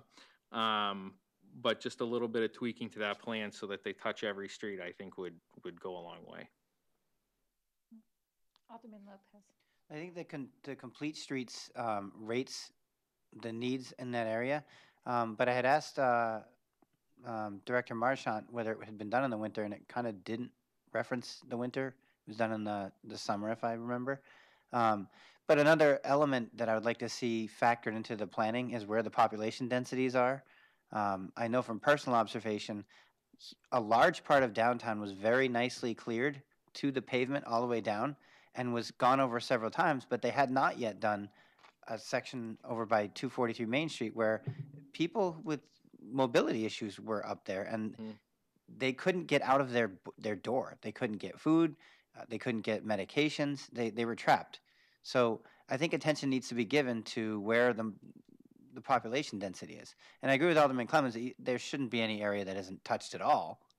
Uh, but I think uh, this year it seemed like there was no shortage of hard work by DPW. It was just the, the strategy really needs to be tuned a little bit. Mhm.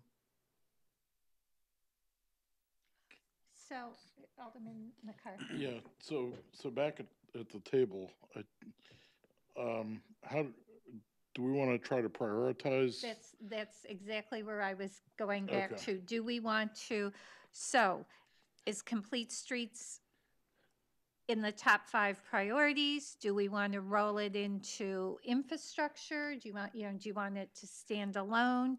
Um, I would, I would roll it in with, with right-of-way infrastructure. okay, Yeah.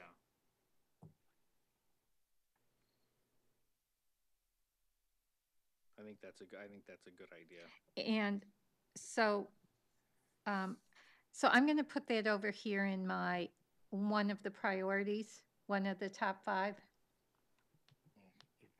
Right, I mean, you mean right-of-way infrastructure as? And complete, it with complete streets being included in that. Yeah.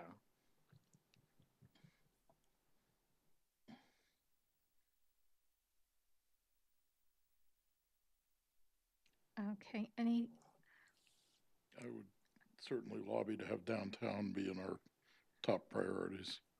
Mhm. okay, thoughts? Co- Alderman Lopez? Well, as uh, we just saw in the previous presentation, there's about to be three pretty sizable population centers added to the downtown. So I really think we need to not only examine the existing ones, but the what impact putting that housing uh, over in Marshall Street is going to have, for example, because I can't actually remember a storm where anybody cleared East Hollis Street. No, I'm not talking about just downtown for infrastructure. I'm talking about the downtown column that's in the sheet, which includes a number of other items. Right, so we're Oh, I looking at see. walkable, um, vibrant performing, um, and visual arts, more housing and, and residents downtown, ensuring the safety of downtown, attract unique businesses to downtown, so that is all in that. Yeah, and I think it's evident that they're not unrelated.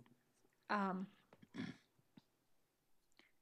But I think what um, Alderman McCarthy is saying is that although you could separate downtown out and say the arts piece goes under arts and culture, there are things that are unique to doing those sorts of things downtown that warrant downtown being a standalone priority. Am I correct in, in interpreting your thoughts? No, I, Oh, I, I just- okay.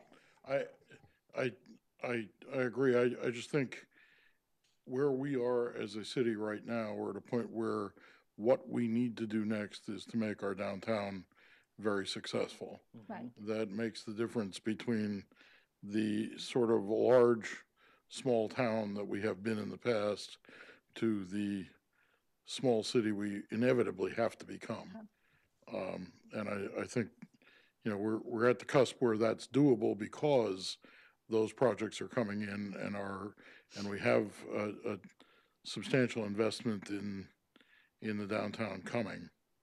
Um, we need to figure out the rest of it to make, you know, the, uh, to make the, the storefronts fill in with whatever. Uh, we are very successful at becoming a gathering place for eating. We're having moderate success at becoming a gathering place for arts and entertainment.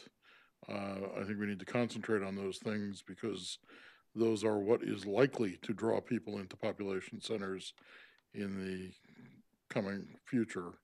Um, I, I don't think retail's coming back the way it used to be. not now, not ever.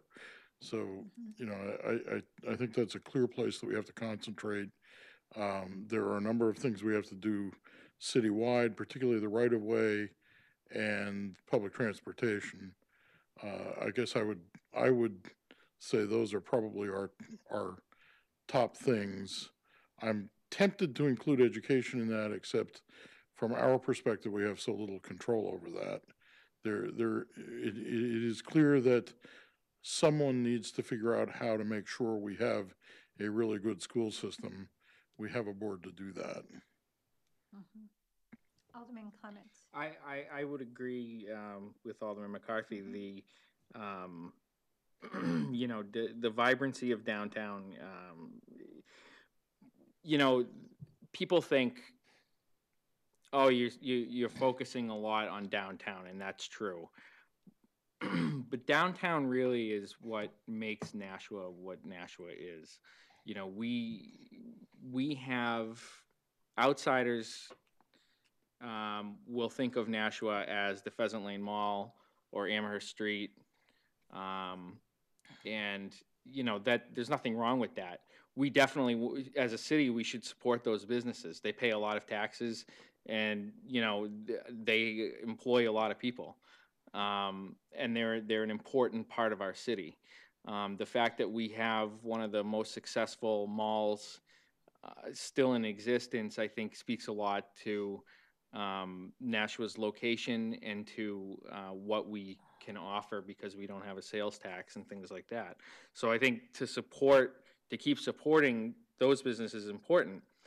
But what Nashua has never been able to capitalize on, and what I I have hope after the presentation that we saw from Paul Shea tonight, is getting those people that go to the Pheasant Lane Mall and getting those people that go up to Amherst Street to venture in a little further and come downtown and you know see what downtown has to offer um, because it, it, it's significant.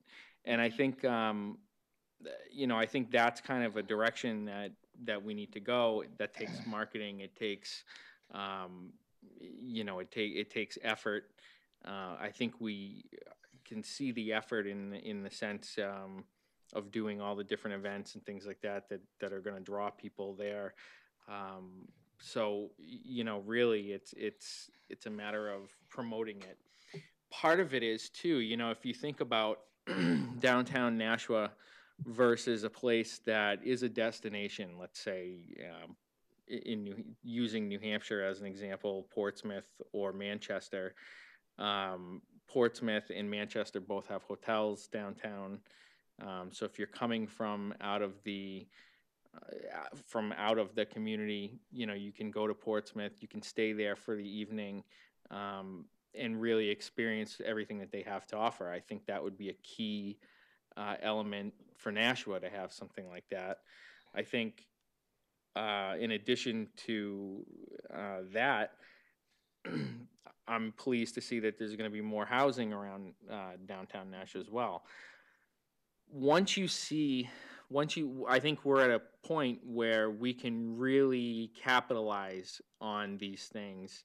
If we can you know get a, a, a hotel to get visitors to come in and, and stay downtown.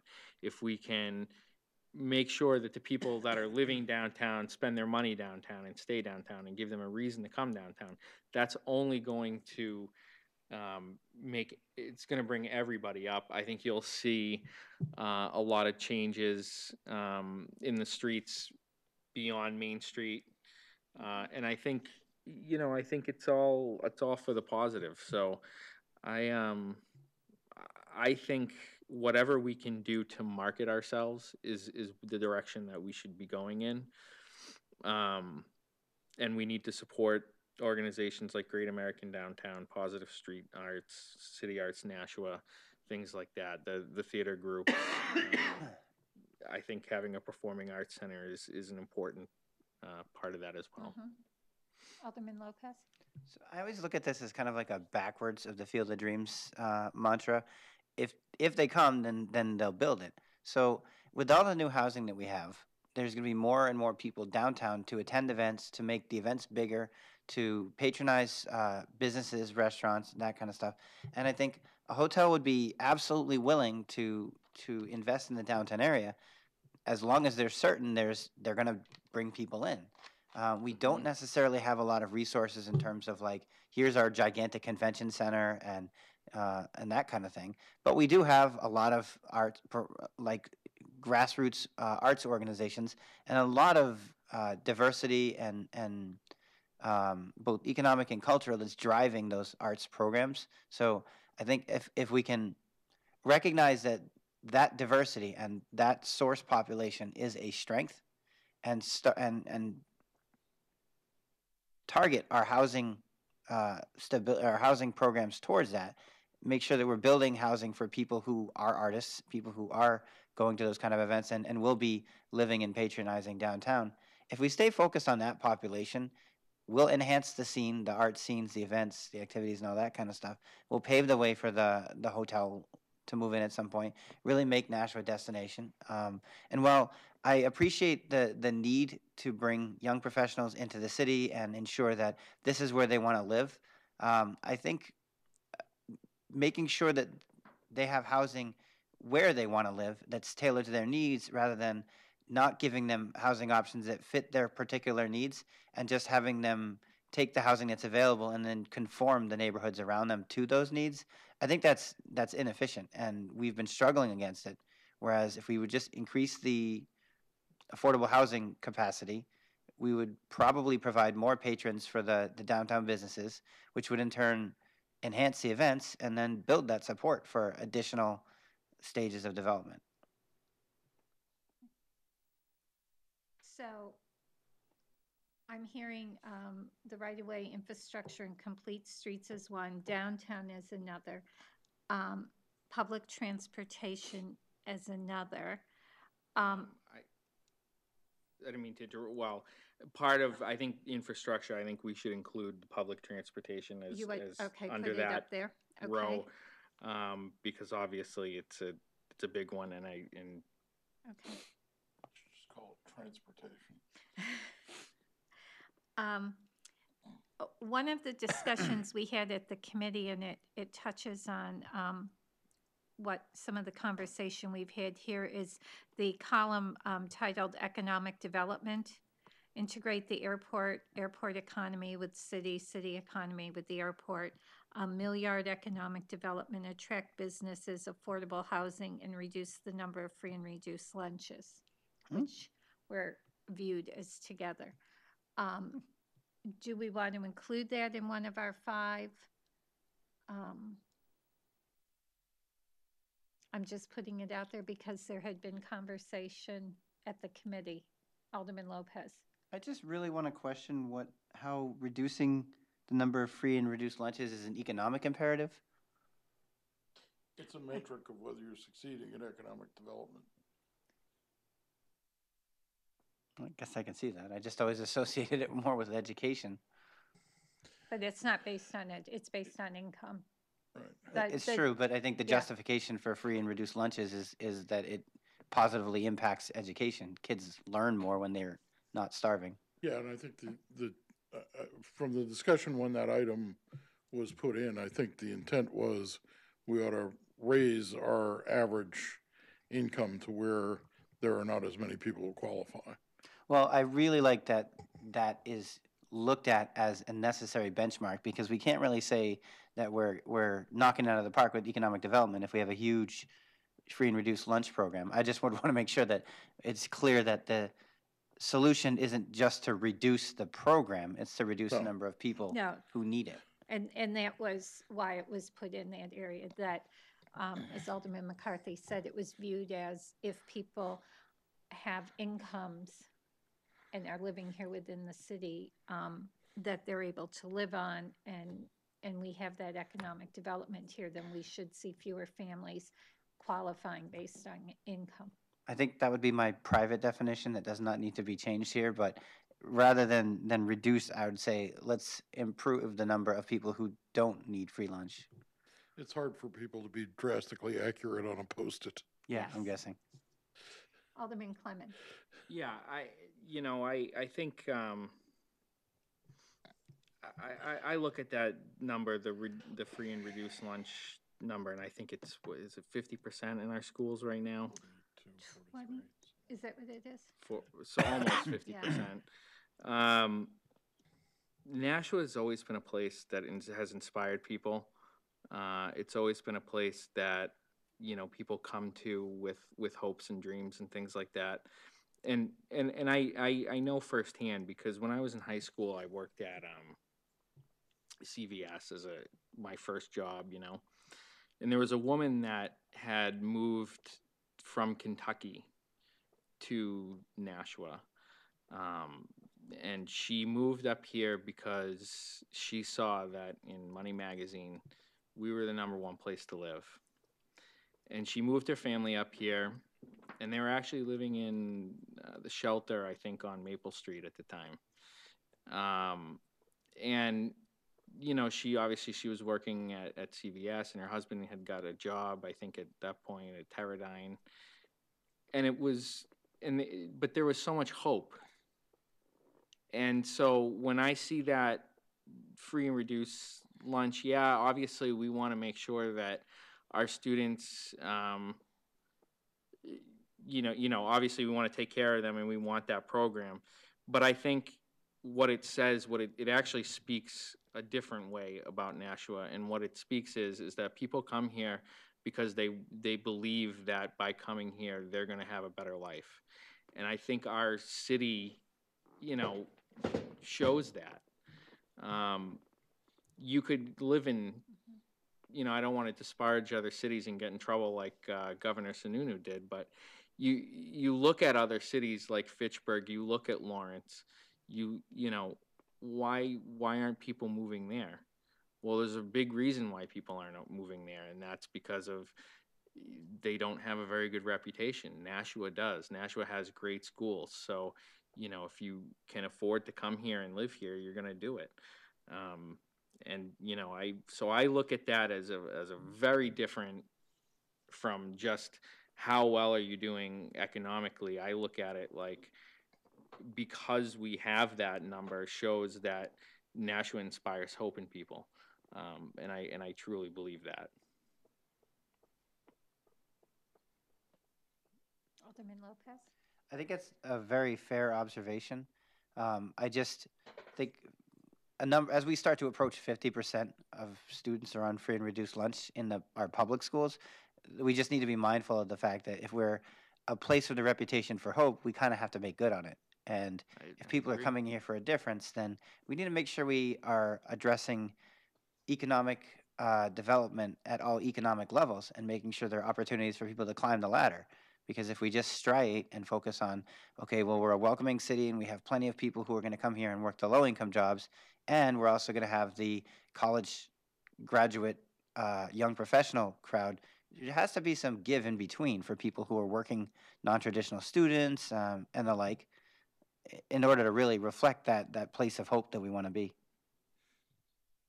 Alderman Clemons? And I'll and I'll only follow it up with I agree, but I think there's also an, a national element to that that unfortunately uh, a lot of that is beyond our control, and um, you know, so I I think that that contributes to the the rise in in that number.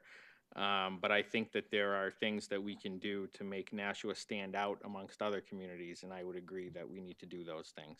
So, I, I actually look at it a little different way.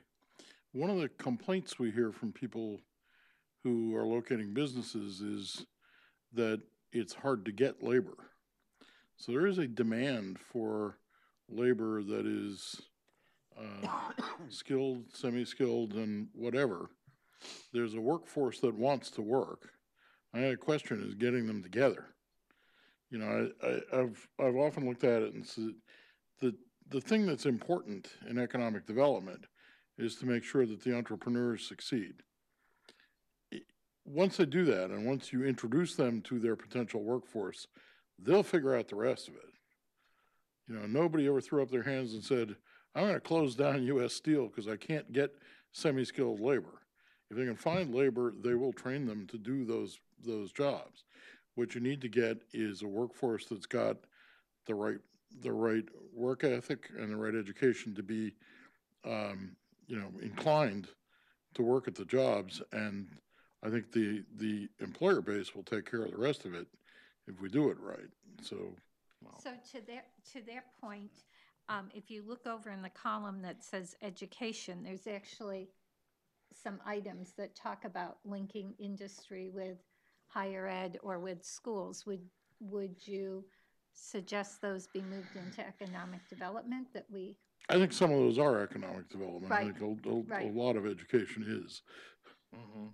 Oh, Alderman Clemons had his hand up and then Alderman Lopez. Yeah, I mean, well, and I guess what I meant by the national thing, I mean, y- y- you know, you, you can see that there's a disparity between, you know, the one, the highest one percent and everybody else, and that gap has been growing since nineteen eighty. And my, this, that's one point, and then the other point is that New Hampshire isn't very competitive when it comes to minimum wage jobs. We have the lowest minimum wage in the country. So, you know, something's got to give at some point. And so if you want to get that free and reduced lunch number down in Nashua, we have to address those two issues. One, we can address on the state level as far as the, the minimum wage. The other one is a national problem. And I guess that's more of what I meant. There are things that we can do as a city to localize and make ourselves stand out amongst places that are around us, like Manchester, Lawrence, Lowell, um, Fitchburg. You know, I think, and and those are the things that we should do, and they're what Alderman McCarthy was talking about, um, and those are the local things that we can do. Um, and that that was just that was more of my point. Alderman Lopez? Um, to Alderman McCarthy's point, um, I think we should be more discerning about the businesses we have in Nashua and what our actual goals are in terms of bringing in employers and that kind of thing. Because I think we can try to cater to the needs of outside employers who might be a, a magic bullet that brings in another 130 jobs or whatever. But we have some pretty impressive small businesses that have grown right here locally. Uh, a great example being Excel Mobile, which is basically across the street, and they they've only sta- they've only been I want to say maybe four years that they've been around. Um, they're they've been recognized several times by uh, Business Week and, and and received accolades for how quickly and effectively they're growing. And I happen to know because of my my close association with uh, their director that they haven't been hiring young professionals or experienced people. They've been cultivating employees from Nashua that want to work hard, want a chance, and are, are willing to do it. So they didn't need to go find a tech school and mine the, the, the brightest minds from it or anything. They just needed employees who would show up every day and could show up every day. And they've been very successful with their growth, particularly hiring people from right in the neighborhoods surrounding that are willing to work hard and, and, and do what they can. I think if we if we encourage our own local businesses that are that are positioned to grow, there's a lot of opportunity for us to create that bridge where people have the opportunity to improve their income and improve their means and then advance their education and and the things along. I think if we try too hard to do it for them, if we try too hard to bring in the school and just like put everything side by side so that the system feeds itself, we're not necessarily going to serve the the resources we already have in the city. Um, along with that point, I, I would also like to kind of dovetail back to the, the public transportation. I think we are um, reducing the number of people who can generate revenue and, and make that jump um, economically by not providing public transportation on all seven days. Mhm. I think we're also probably restricting the growth of the businesses that would cater to people because, you know, we're not shopping all seven days. Only the people that are that are going to the mall are able to shop at the mall if they drive. Versus adding that seventh day, it would let employers draw from a larger pool of employees. It would let the employees draw from a larger pool of employment, and economically, it would really help in terms of uh, increasing commerce on Sundays. Mhm. Alderman McCarthy? Yeah, I just, I, I think we were in violent agreement on the point about employers and employees. We have a workforce that wants to work. Um, I, I, I think, you know, all we have to do is make sure that our employers know about that. Hmm. It's not that we, you know, I, I think some of them say, well, there's no workforce because when they advertise through traditional means, they don't get resumes sent in. That does not mean there are not people in this community who can and will do the jobs that, that those companies have available. Alderman Clemons. Yeah, I mean, I, I, the, the biggest thing that any city or town or state can do to, for economic development is to make sure that the businesses that are already in the city are happy and want to stay. Um, because, you know, if, if you're constantly focused on trying to bring in the new guy, um, you're going to create space for the new guy because the other guy's who's already there is going to leave. So, um, you know, I think we do a good job with that now. Um, and you know, ironically, um, even though I think a lot of our public, uh, our public sector is going to not fare so well under Donald Trump, I think our private sector in Nashua will with um, the increase in, in defense spending. Uh, I think BAE is probably going to do pretty well. So um, we're in a unique position again um, to capitalize on that and make the best of, of, of a situation. And, uh, you know, I think, um, I think we're very lucky in that regard. So I'm, I'm assuming it's safe to report back that economic development with the, the understanding that education is related to that is one of the priorities we have. Um, Alderman Lopez. I'm not entirely sure what the city, if, I, I don't think there is one at all, but what role the city plays in connecting applicants to employers. But I will say that from the work that I've done with the Continuum of Care with um, the Employment Connect event, and from my own experience uh, as a job developer for 10 years, I think a lot of the employers, and I hope some of them are watching and take this as advice, but a lot of the employers' difficulty finding employees is self inflicted because they set parameters and criteria for the ideal employee that are very difficult to not only meet but just communicate because you can have highly qualified individuals who just aren't on the site that you're using. And you can have people with completely unanticipable un, unanticipatable skill sets and and advantages and opportunities that you made the decision not to include them in your interview process so I don't know if the city's economic development office has a role in it, but I would say creating some kind of location that's Nashua driven that says this is where you can post your local Nashua jobs would probably be a very positive step because that's usually the first thing I used to tell people who are looking on larger websites is put the word Nashua in there and make sure you're actually applying for a job in Nashua. So I think it would be, be a way for Nashua businesses to go to uh, an economic development site and say, I'm going to post my ads here so that I know I'm getting people from Nashua who are going to have a shorter commute to work, are going to have less barriers in the way uh, when weather or emergencies happen, um, and I'll be feeding the economy that supports my own business anyway. Any other thoughts? Where, where are we so far on this So list? I have right-of-way infrastructure, complete streets, public transportation, downtown economic development. Um, The, the other one that we kind of combined, um, and, and I'm just kind of throwing some of these out, is, um, nat, we ended up with something titled Natural Resources but it talks about um, improving parks to attract activity, develop a plan to upgrade and maintain city parks and fields, great parks and green space, um, access to recreational use of the waterfront, and vibrant waterway. So that was all put together as another one of our priorities.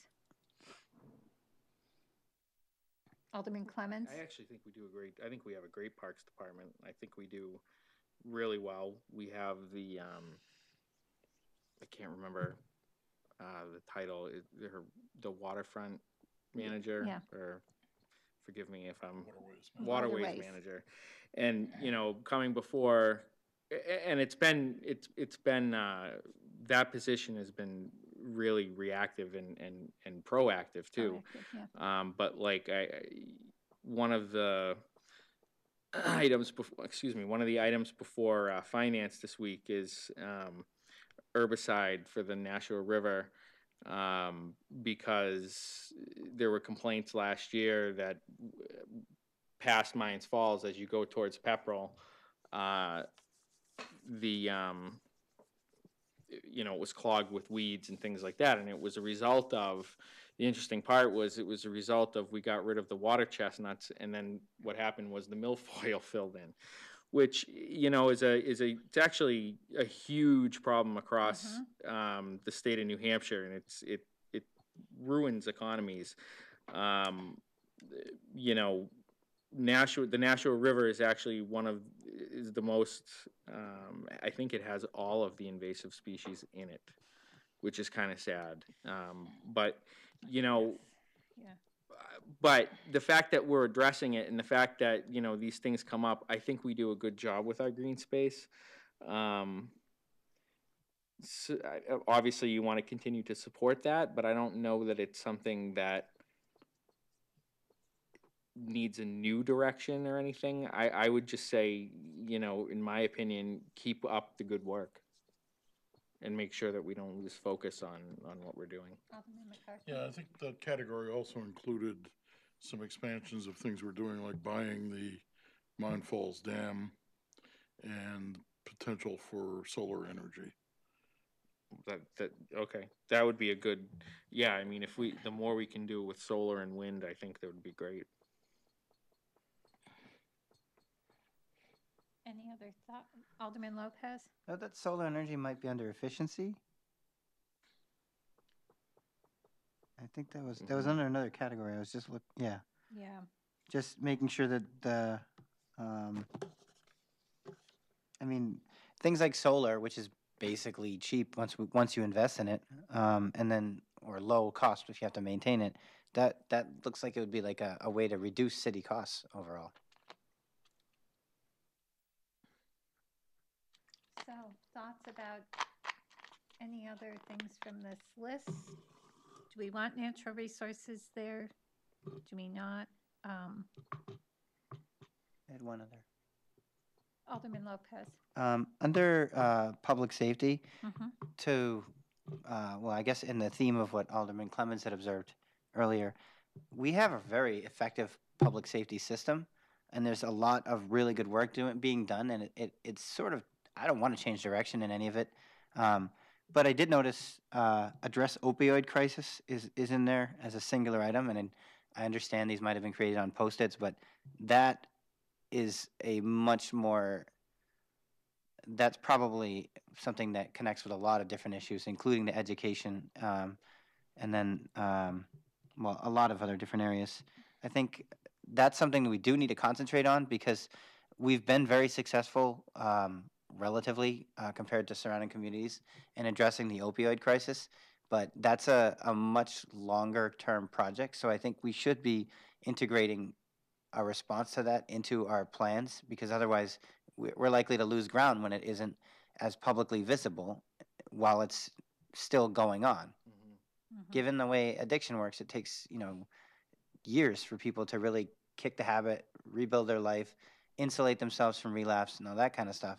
Um, I think one of the most efficient ways we can address it right now is to start intervention at a, at a younger age in the, in the school systems and to also uh, gear our um, our public safety um, programs and, and the way that our programs are viewed, not just towards people who are traditionally perceived as, as substance abusers, but to recognize that there's a different population that's not only at risk, but has no skills with which to uh, survive an addiction. If you're looking at the, the people with means, they're a little bit more able to pay for things like insurance and, and, and treatment and that kind of stuff, but they're not necessarily able to identify the problems as they're coming. Um, recognizing loved ones who may suffer from addiction, uh, recognizing the difference between just recreational use and you know life-threatening uh, behavioral issues. So, approaching that population as a as a strategy in order to kind of carve them off from becoming our future addiction population, we're going to have to plan for that. I think that's something that we should put as a priority without just saying, okay, this is the same old, you know, population. They're probably homeless and they're probably, you know, what we that's not what the we're seeing in the epidemic at all. We're seeing people who've never impacted the system before looking for help. And I think if we if we help those people too and we have that that strategy of for example, I think one of the most um, effective strategies that we've employed so far is by putting commercials into Chunky's so that everybody sees about the sees the resources, the Safe Station Initiative, and all that, rather than just you know posting something up where we assume people who have addiction will, will be going. I think by doing that, we're saving a lot of effort in the future because we're helping people find help early rather than later.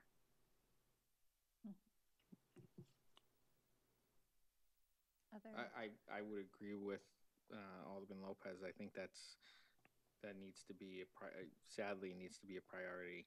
Um, you know, I think it's it's also um, um, I don't I don't know where to put it though. I guess you would put it under public safety, but um,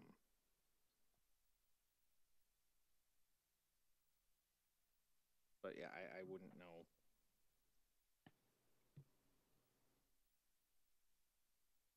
so do we want, I will just add public safety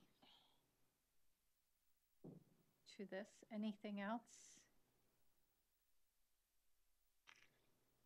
We had asked people to, you know, three to five. Um, We indirectly have talked about education and its relationship to economic development. Um, the other areas, long-term financial planning, efficiencies, um, human resources and labor, um, library, um, land use, and city arts and culture were the other areas that, um, if anyone has thoughts about rolling them under some of the things we already have, or if there's something else. Well, I think, I, I think land use probably just goes under economic development. Um,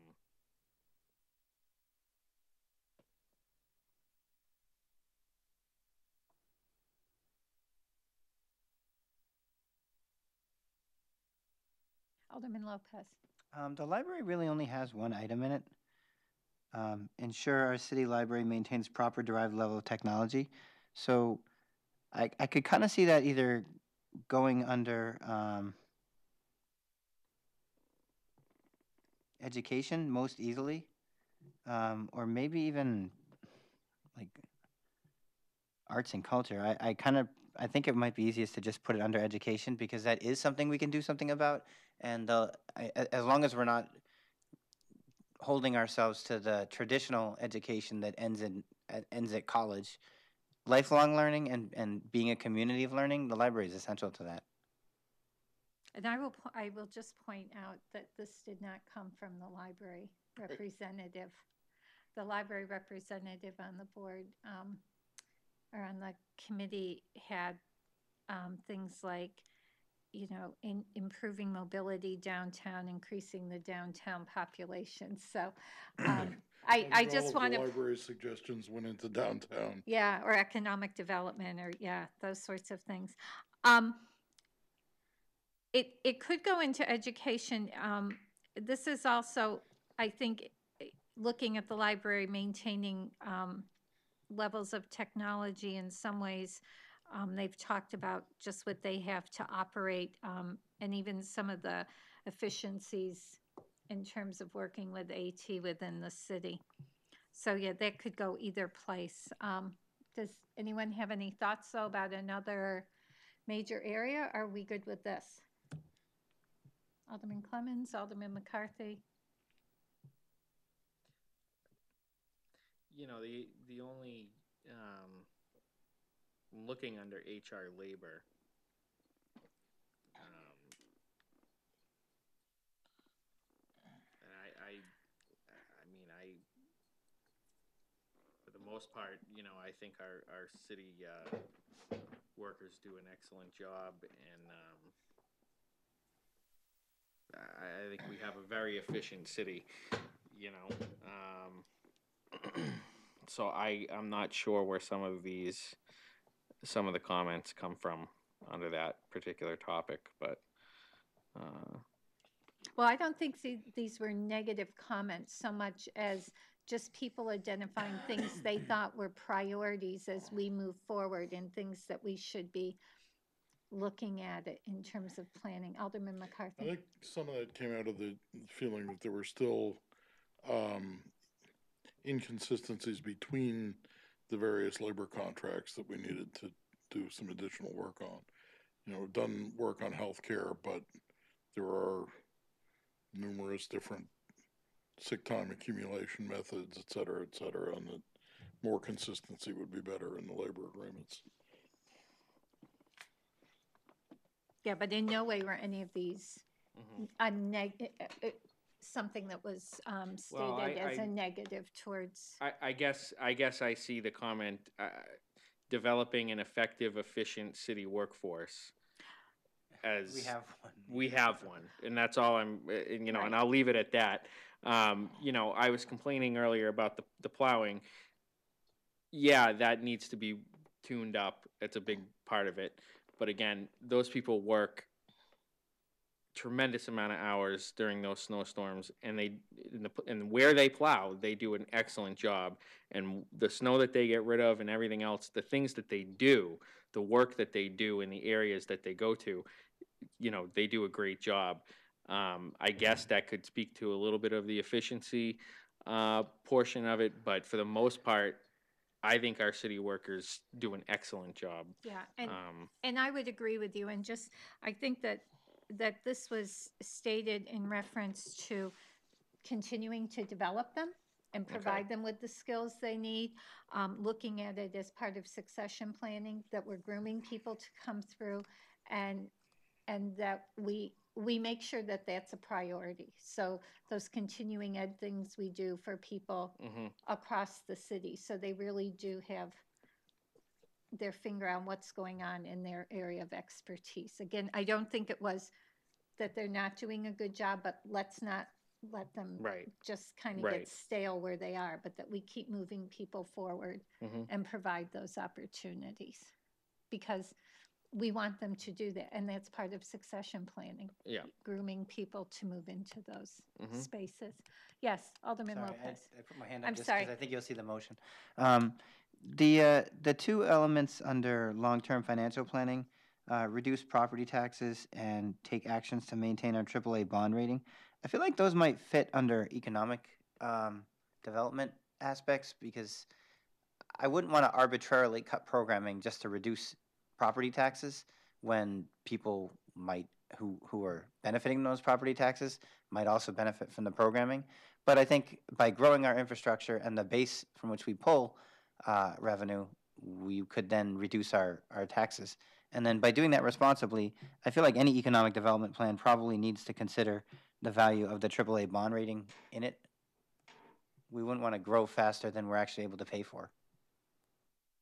Right, and, and I think that that was part of what was coming out of here. We were looking, if you look at the first item there, Mhm. um, focus long-range strategic planning to control tax rates. Um, it- those were all really related and with the idea of if we're bring, if we're building and improving economic development and bringing in, um, additional commercial tax dollars versus residential dollars? Are we able to use that to lower the property rate, the burden for um, homeowners in the Mhm. city? So I think this was, it, it is tied in with economic development, but it was really looking at that very broadly.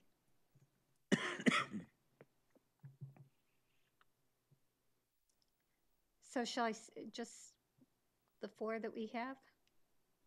Yeah can you just summarize I again have, i'm I have- sorry Yeah, that's okay. Right away, um, infrastructure and under that including, um, complete streets and public transportation. Downtown, um, economic development, including land use and education, I believe I heard, um, and public safety. And again, looking at these as big umbrellas for, for driving things, not thinking of them as projects. Mhm. So if everyone is comfortable with that, I, we will take that to strategic planning. okay. I don't Well, think, I will not be there on Thursday. you will not be there, we will miss you. Um, I okay. will, I will be at the Northeast Astro Imaging Conference in New York. Oh, sounds like fun. Well, we will miss you. Um, What, so they're having that in the city with the most light pollution? No. It's actually not far from where I grew up. in the Oh, okay, so suburbs. not New York City, New York State. It's mostly seminars. It's not, there's Yeah. not much actual observation taken. Oh, that's misleading. yes. Okay. Um, no communication, unfinished business, none, new business, none. Any other general discussion? Okay, um, Oh, public, yes. Yeah, I just wanted to mention, I had a conversation with the community development director the other day about the trolley. Um, it has had abysmal numbers for the past month or two in the ridership. Um, we are, we have established a new marketing campaign, but I think what we're gonna do with it in the future is to run it for more hours in the summer and none in the winter. Really? So try to run it during the day on, on Saturdays, for example. Oh, Need a bell over here. Okay, um, No, Alderman yeah. Lopez and then Alderman Clemons. I just want to say, it has definitely been a Flying Dutchman all winter because nobody knew it was still going. Like, it was marketed as a, a, a fun summer, fall kind of a deal. And I incredulously asked sh- Paul a couple of times, that, is it still going right now? So I think if it was better integrated into, um, like somebody's job or work, or even if, if it was like realigned so that when people have to move their cars out of the public lots into the parking lots uh, for snow emergency or something, people would love a trolley to pick them up and drop them at least in the near vicinity of where they they they came from originally. But having it just tour downtown when nobody knows it's doing it and it's not We really do- a out and about time of year, uh, that We do have another marketing campaign underway. There has been uh, targeted Facebook advertising, which I have not run across, but Mhm. there is. I'm sure it'll work better now because it's the spring, but in the dead of winter, like it's it's pretty well known that January and February are, are very difficult times for downtown, and all, all that was doing was making it easy for people to park who weren't driving down in the first place.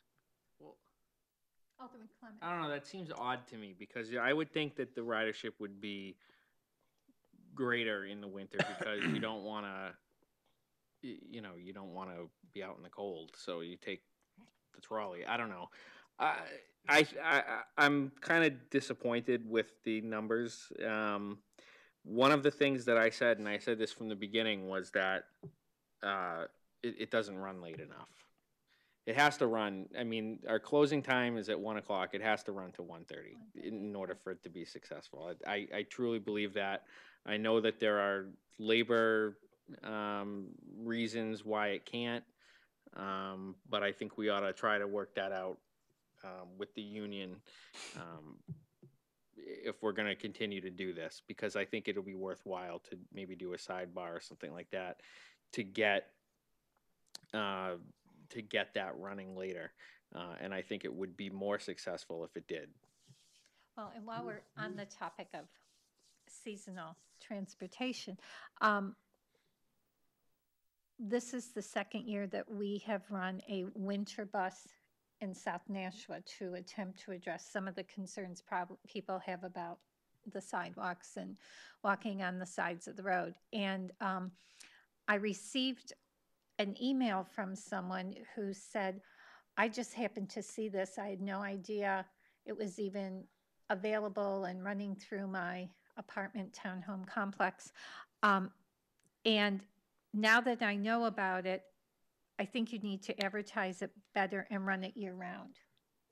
So I think maybe we need to really look at reaching out in all of these different places um, if we're going to provide transportation. But I just wanted to share that because you and I have had conversation. Yeah, Alderman Yeah, just so McCarthy. everybody else is, kind I had a conversation about that with the director as well, and apparently we've had, we've had that, because we were discussing that would be a good way to solve some of those problems, is to have something that connected all of the residences with all of the businesses. And lo and behold, we have run it, we've had five riders on it. Right, and, uh, but I do, I do think that, like, last year, the ridership was better, so I am, ru- I'm wondering what, what the promotion was and how it was promoted, and do we really need to sit down and, and develop a strategic plan about, to my kind of bigger concern, developing South Nashua as a community and looking at that as part of what we do Well, there. Alderman, uh, yeah, I actually think we just need to do a better job of, of advertising our public transportation and, and, I- I mean, whatever we're doing, we're doing it to, to places that the people who would use it are, either there's no demand or the people who would use it are not getting the message. right. Well, Alderman Clemons. Y- You know, eh, to bring, to bring up what Alderman Lopez, uh, said earlier, it, would, would it make more sense to, to, and could we, I don't even know if we could, but could we use that trolley money to, to open up a Sunday service? Even if it just ran, fr- even if it only ran up and down, let's say the Daniel Webster Highway, up Amherst and then back. I mean, the thing, you know, even something limited would be a good use of money. Over the nothing. Yeah, Alderman McCarthy. I think that's gonna be expensive, because I think to do it in any reasonable way on a day, you have to mu- run multiple routes. Mhm. because otherwise you get, it takes two hours to get from, you know, the bus only comes every two hours that way. And I- it, it, I, I mean, it just, a route is going to be expensive, I think, to keep open. But Right. Alderman Clemons. But even doing a limited route with limited hours that ran that that length for let's say I don't know six hours, the destination that you're gonna go, the destinations that you're gonna go to those places, you're gonna probably spend an hour at anyway. For example, if you're going grocery shopping and you want to go to Market Basket. So so what if the thing doesn't come back for another hour? You're probably gonna spend an hour in the store anyway. Um, same thing with the mall if you don't like that, go out on Saturday. You know, like it, it's it's a service that we've never offered before, and it we're trying to do it, you know, to to enhance people's lives. And and yeah, maybe it won't be perfect, but I think um, I, I think we should try anyway. Alderman McCarthy. Yeah, I actually took a quick look at some stuff the other day, and you, know, you think about it, if we were to do such a thing in the South End, for example, the people that it primarily benefits are the merchants who are located along DW Highway. Yeah. There is some six hundred million dollars worth of property along that stretch of land. Um, a business improvement district that paid for public transportation might in fact be the right solution to do that. And likewise for Amherst Street, um, there's similarly a very substantial portion of our, of our tax base is located along Amherst Street and derives substantial good from being on Amherst Street. So maybe we want to look at that as to whether that's a potential way to fund the city share of the, um, of the, uh, cost. I think running that service year-round would, would basically be somewhere in the less than a hundred thousand dollar range for the city's, for the city's share, but it's not cheap. If you're running two I- If you- buses up that route, Um, well, that was, One. that was considering running either one or two buses just on the southern route. Right, I yeah. I, how much are we spending on the trolley? um, not that much. It's, I think it was maybe fifteen thousand for the year. Can I make a comment, please? Oh, I'm sorry, Alderman Lopez. Um, so in discussing this with Director Marchant, she pointed out that the infrastructure supporting the bus is also a, a cost consideration. So it's somewhat easier to run the trolley right now as an after-hours uh, embellishment because you already have the dispatcher running and the, the backup bus and the other services that support the bus mechanism in addition to the driver and the bus itself. So doing just a two route um, deal, it, it might look cheaper on paper, but it may not really pan out. I think building a meaningfully sized program would be an inevitability, but it might be something that you could at least pilot effectively to demonstrate to um, businesses that would be courted as investors that hey, people will ride this. I know that personally, riding the bus, I may run ride the bus more than any of the other aldermen, and the the north south ones are always full. Like they're very heavily used, and it's not just people going to the the mall and Barnes and Nobles and Market Basket. It's also people that are coming back downtown from Exit One. Um, I've seen people who are coming down for events, people who are coming just to have dinner at a nice restaurant. They want to stroll, they want to walk around. Um, even people will come for church services and that kind of stuff. And if we if we did manage to pull off a Sunday route, it would probably enhance uh, even the farmers market and that kind of stuff. So people will ride the buses two ways. We just need to position those potential investors to see how many people would do it and how much they could personally benefit from it. Alderman Clark. I, I, I agree with that strategy. I think uh, I, I think it's a good strategy, but it's something that you know again we need to we need to talk about uh, and actually make happen.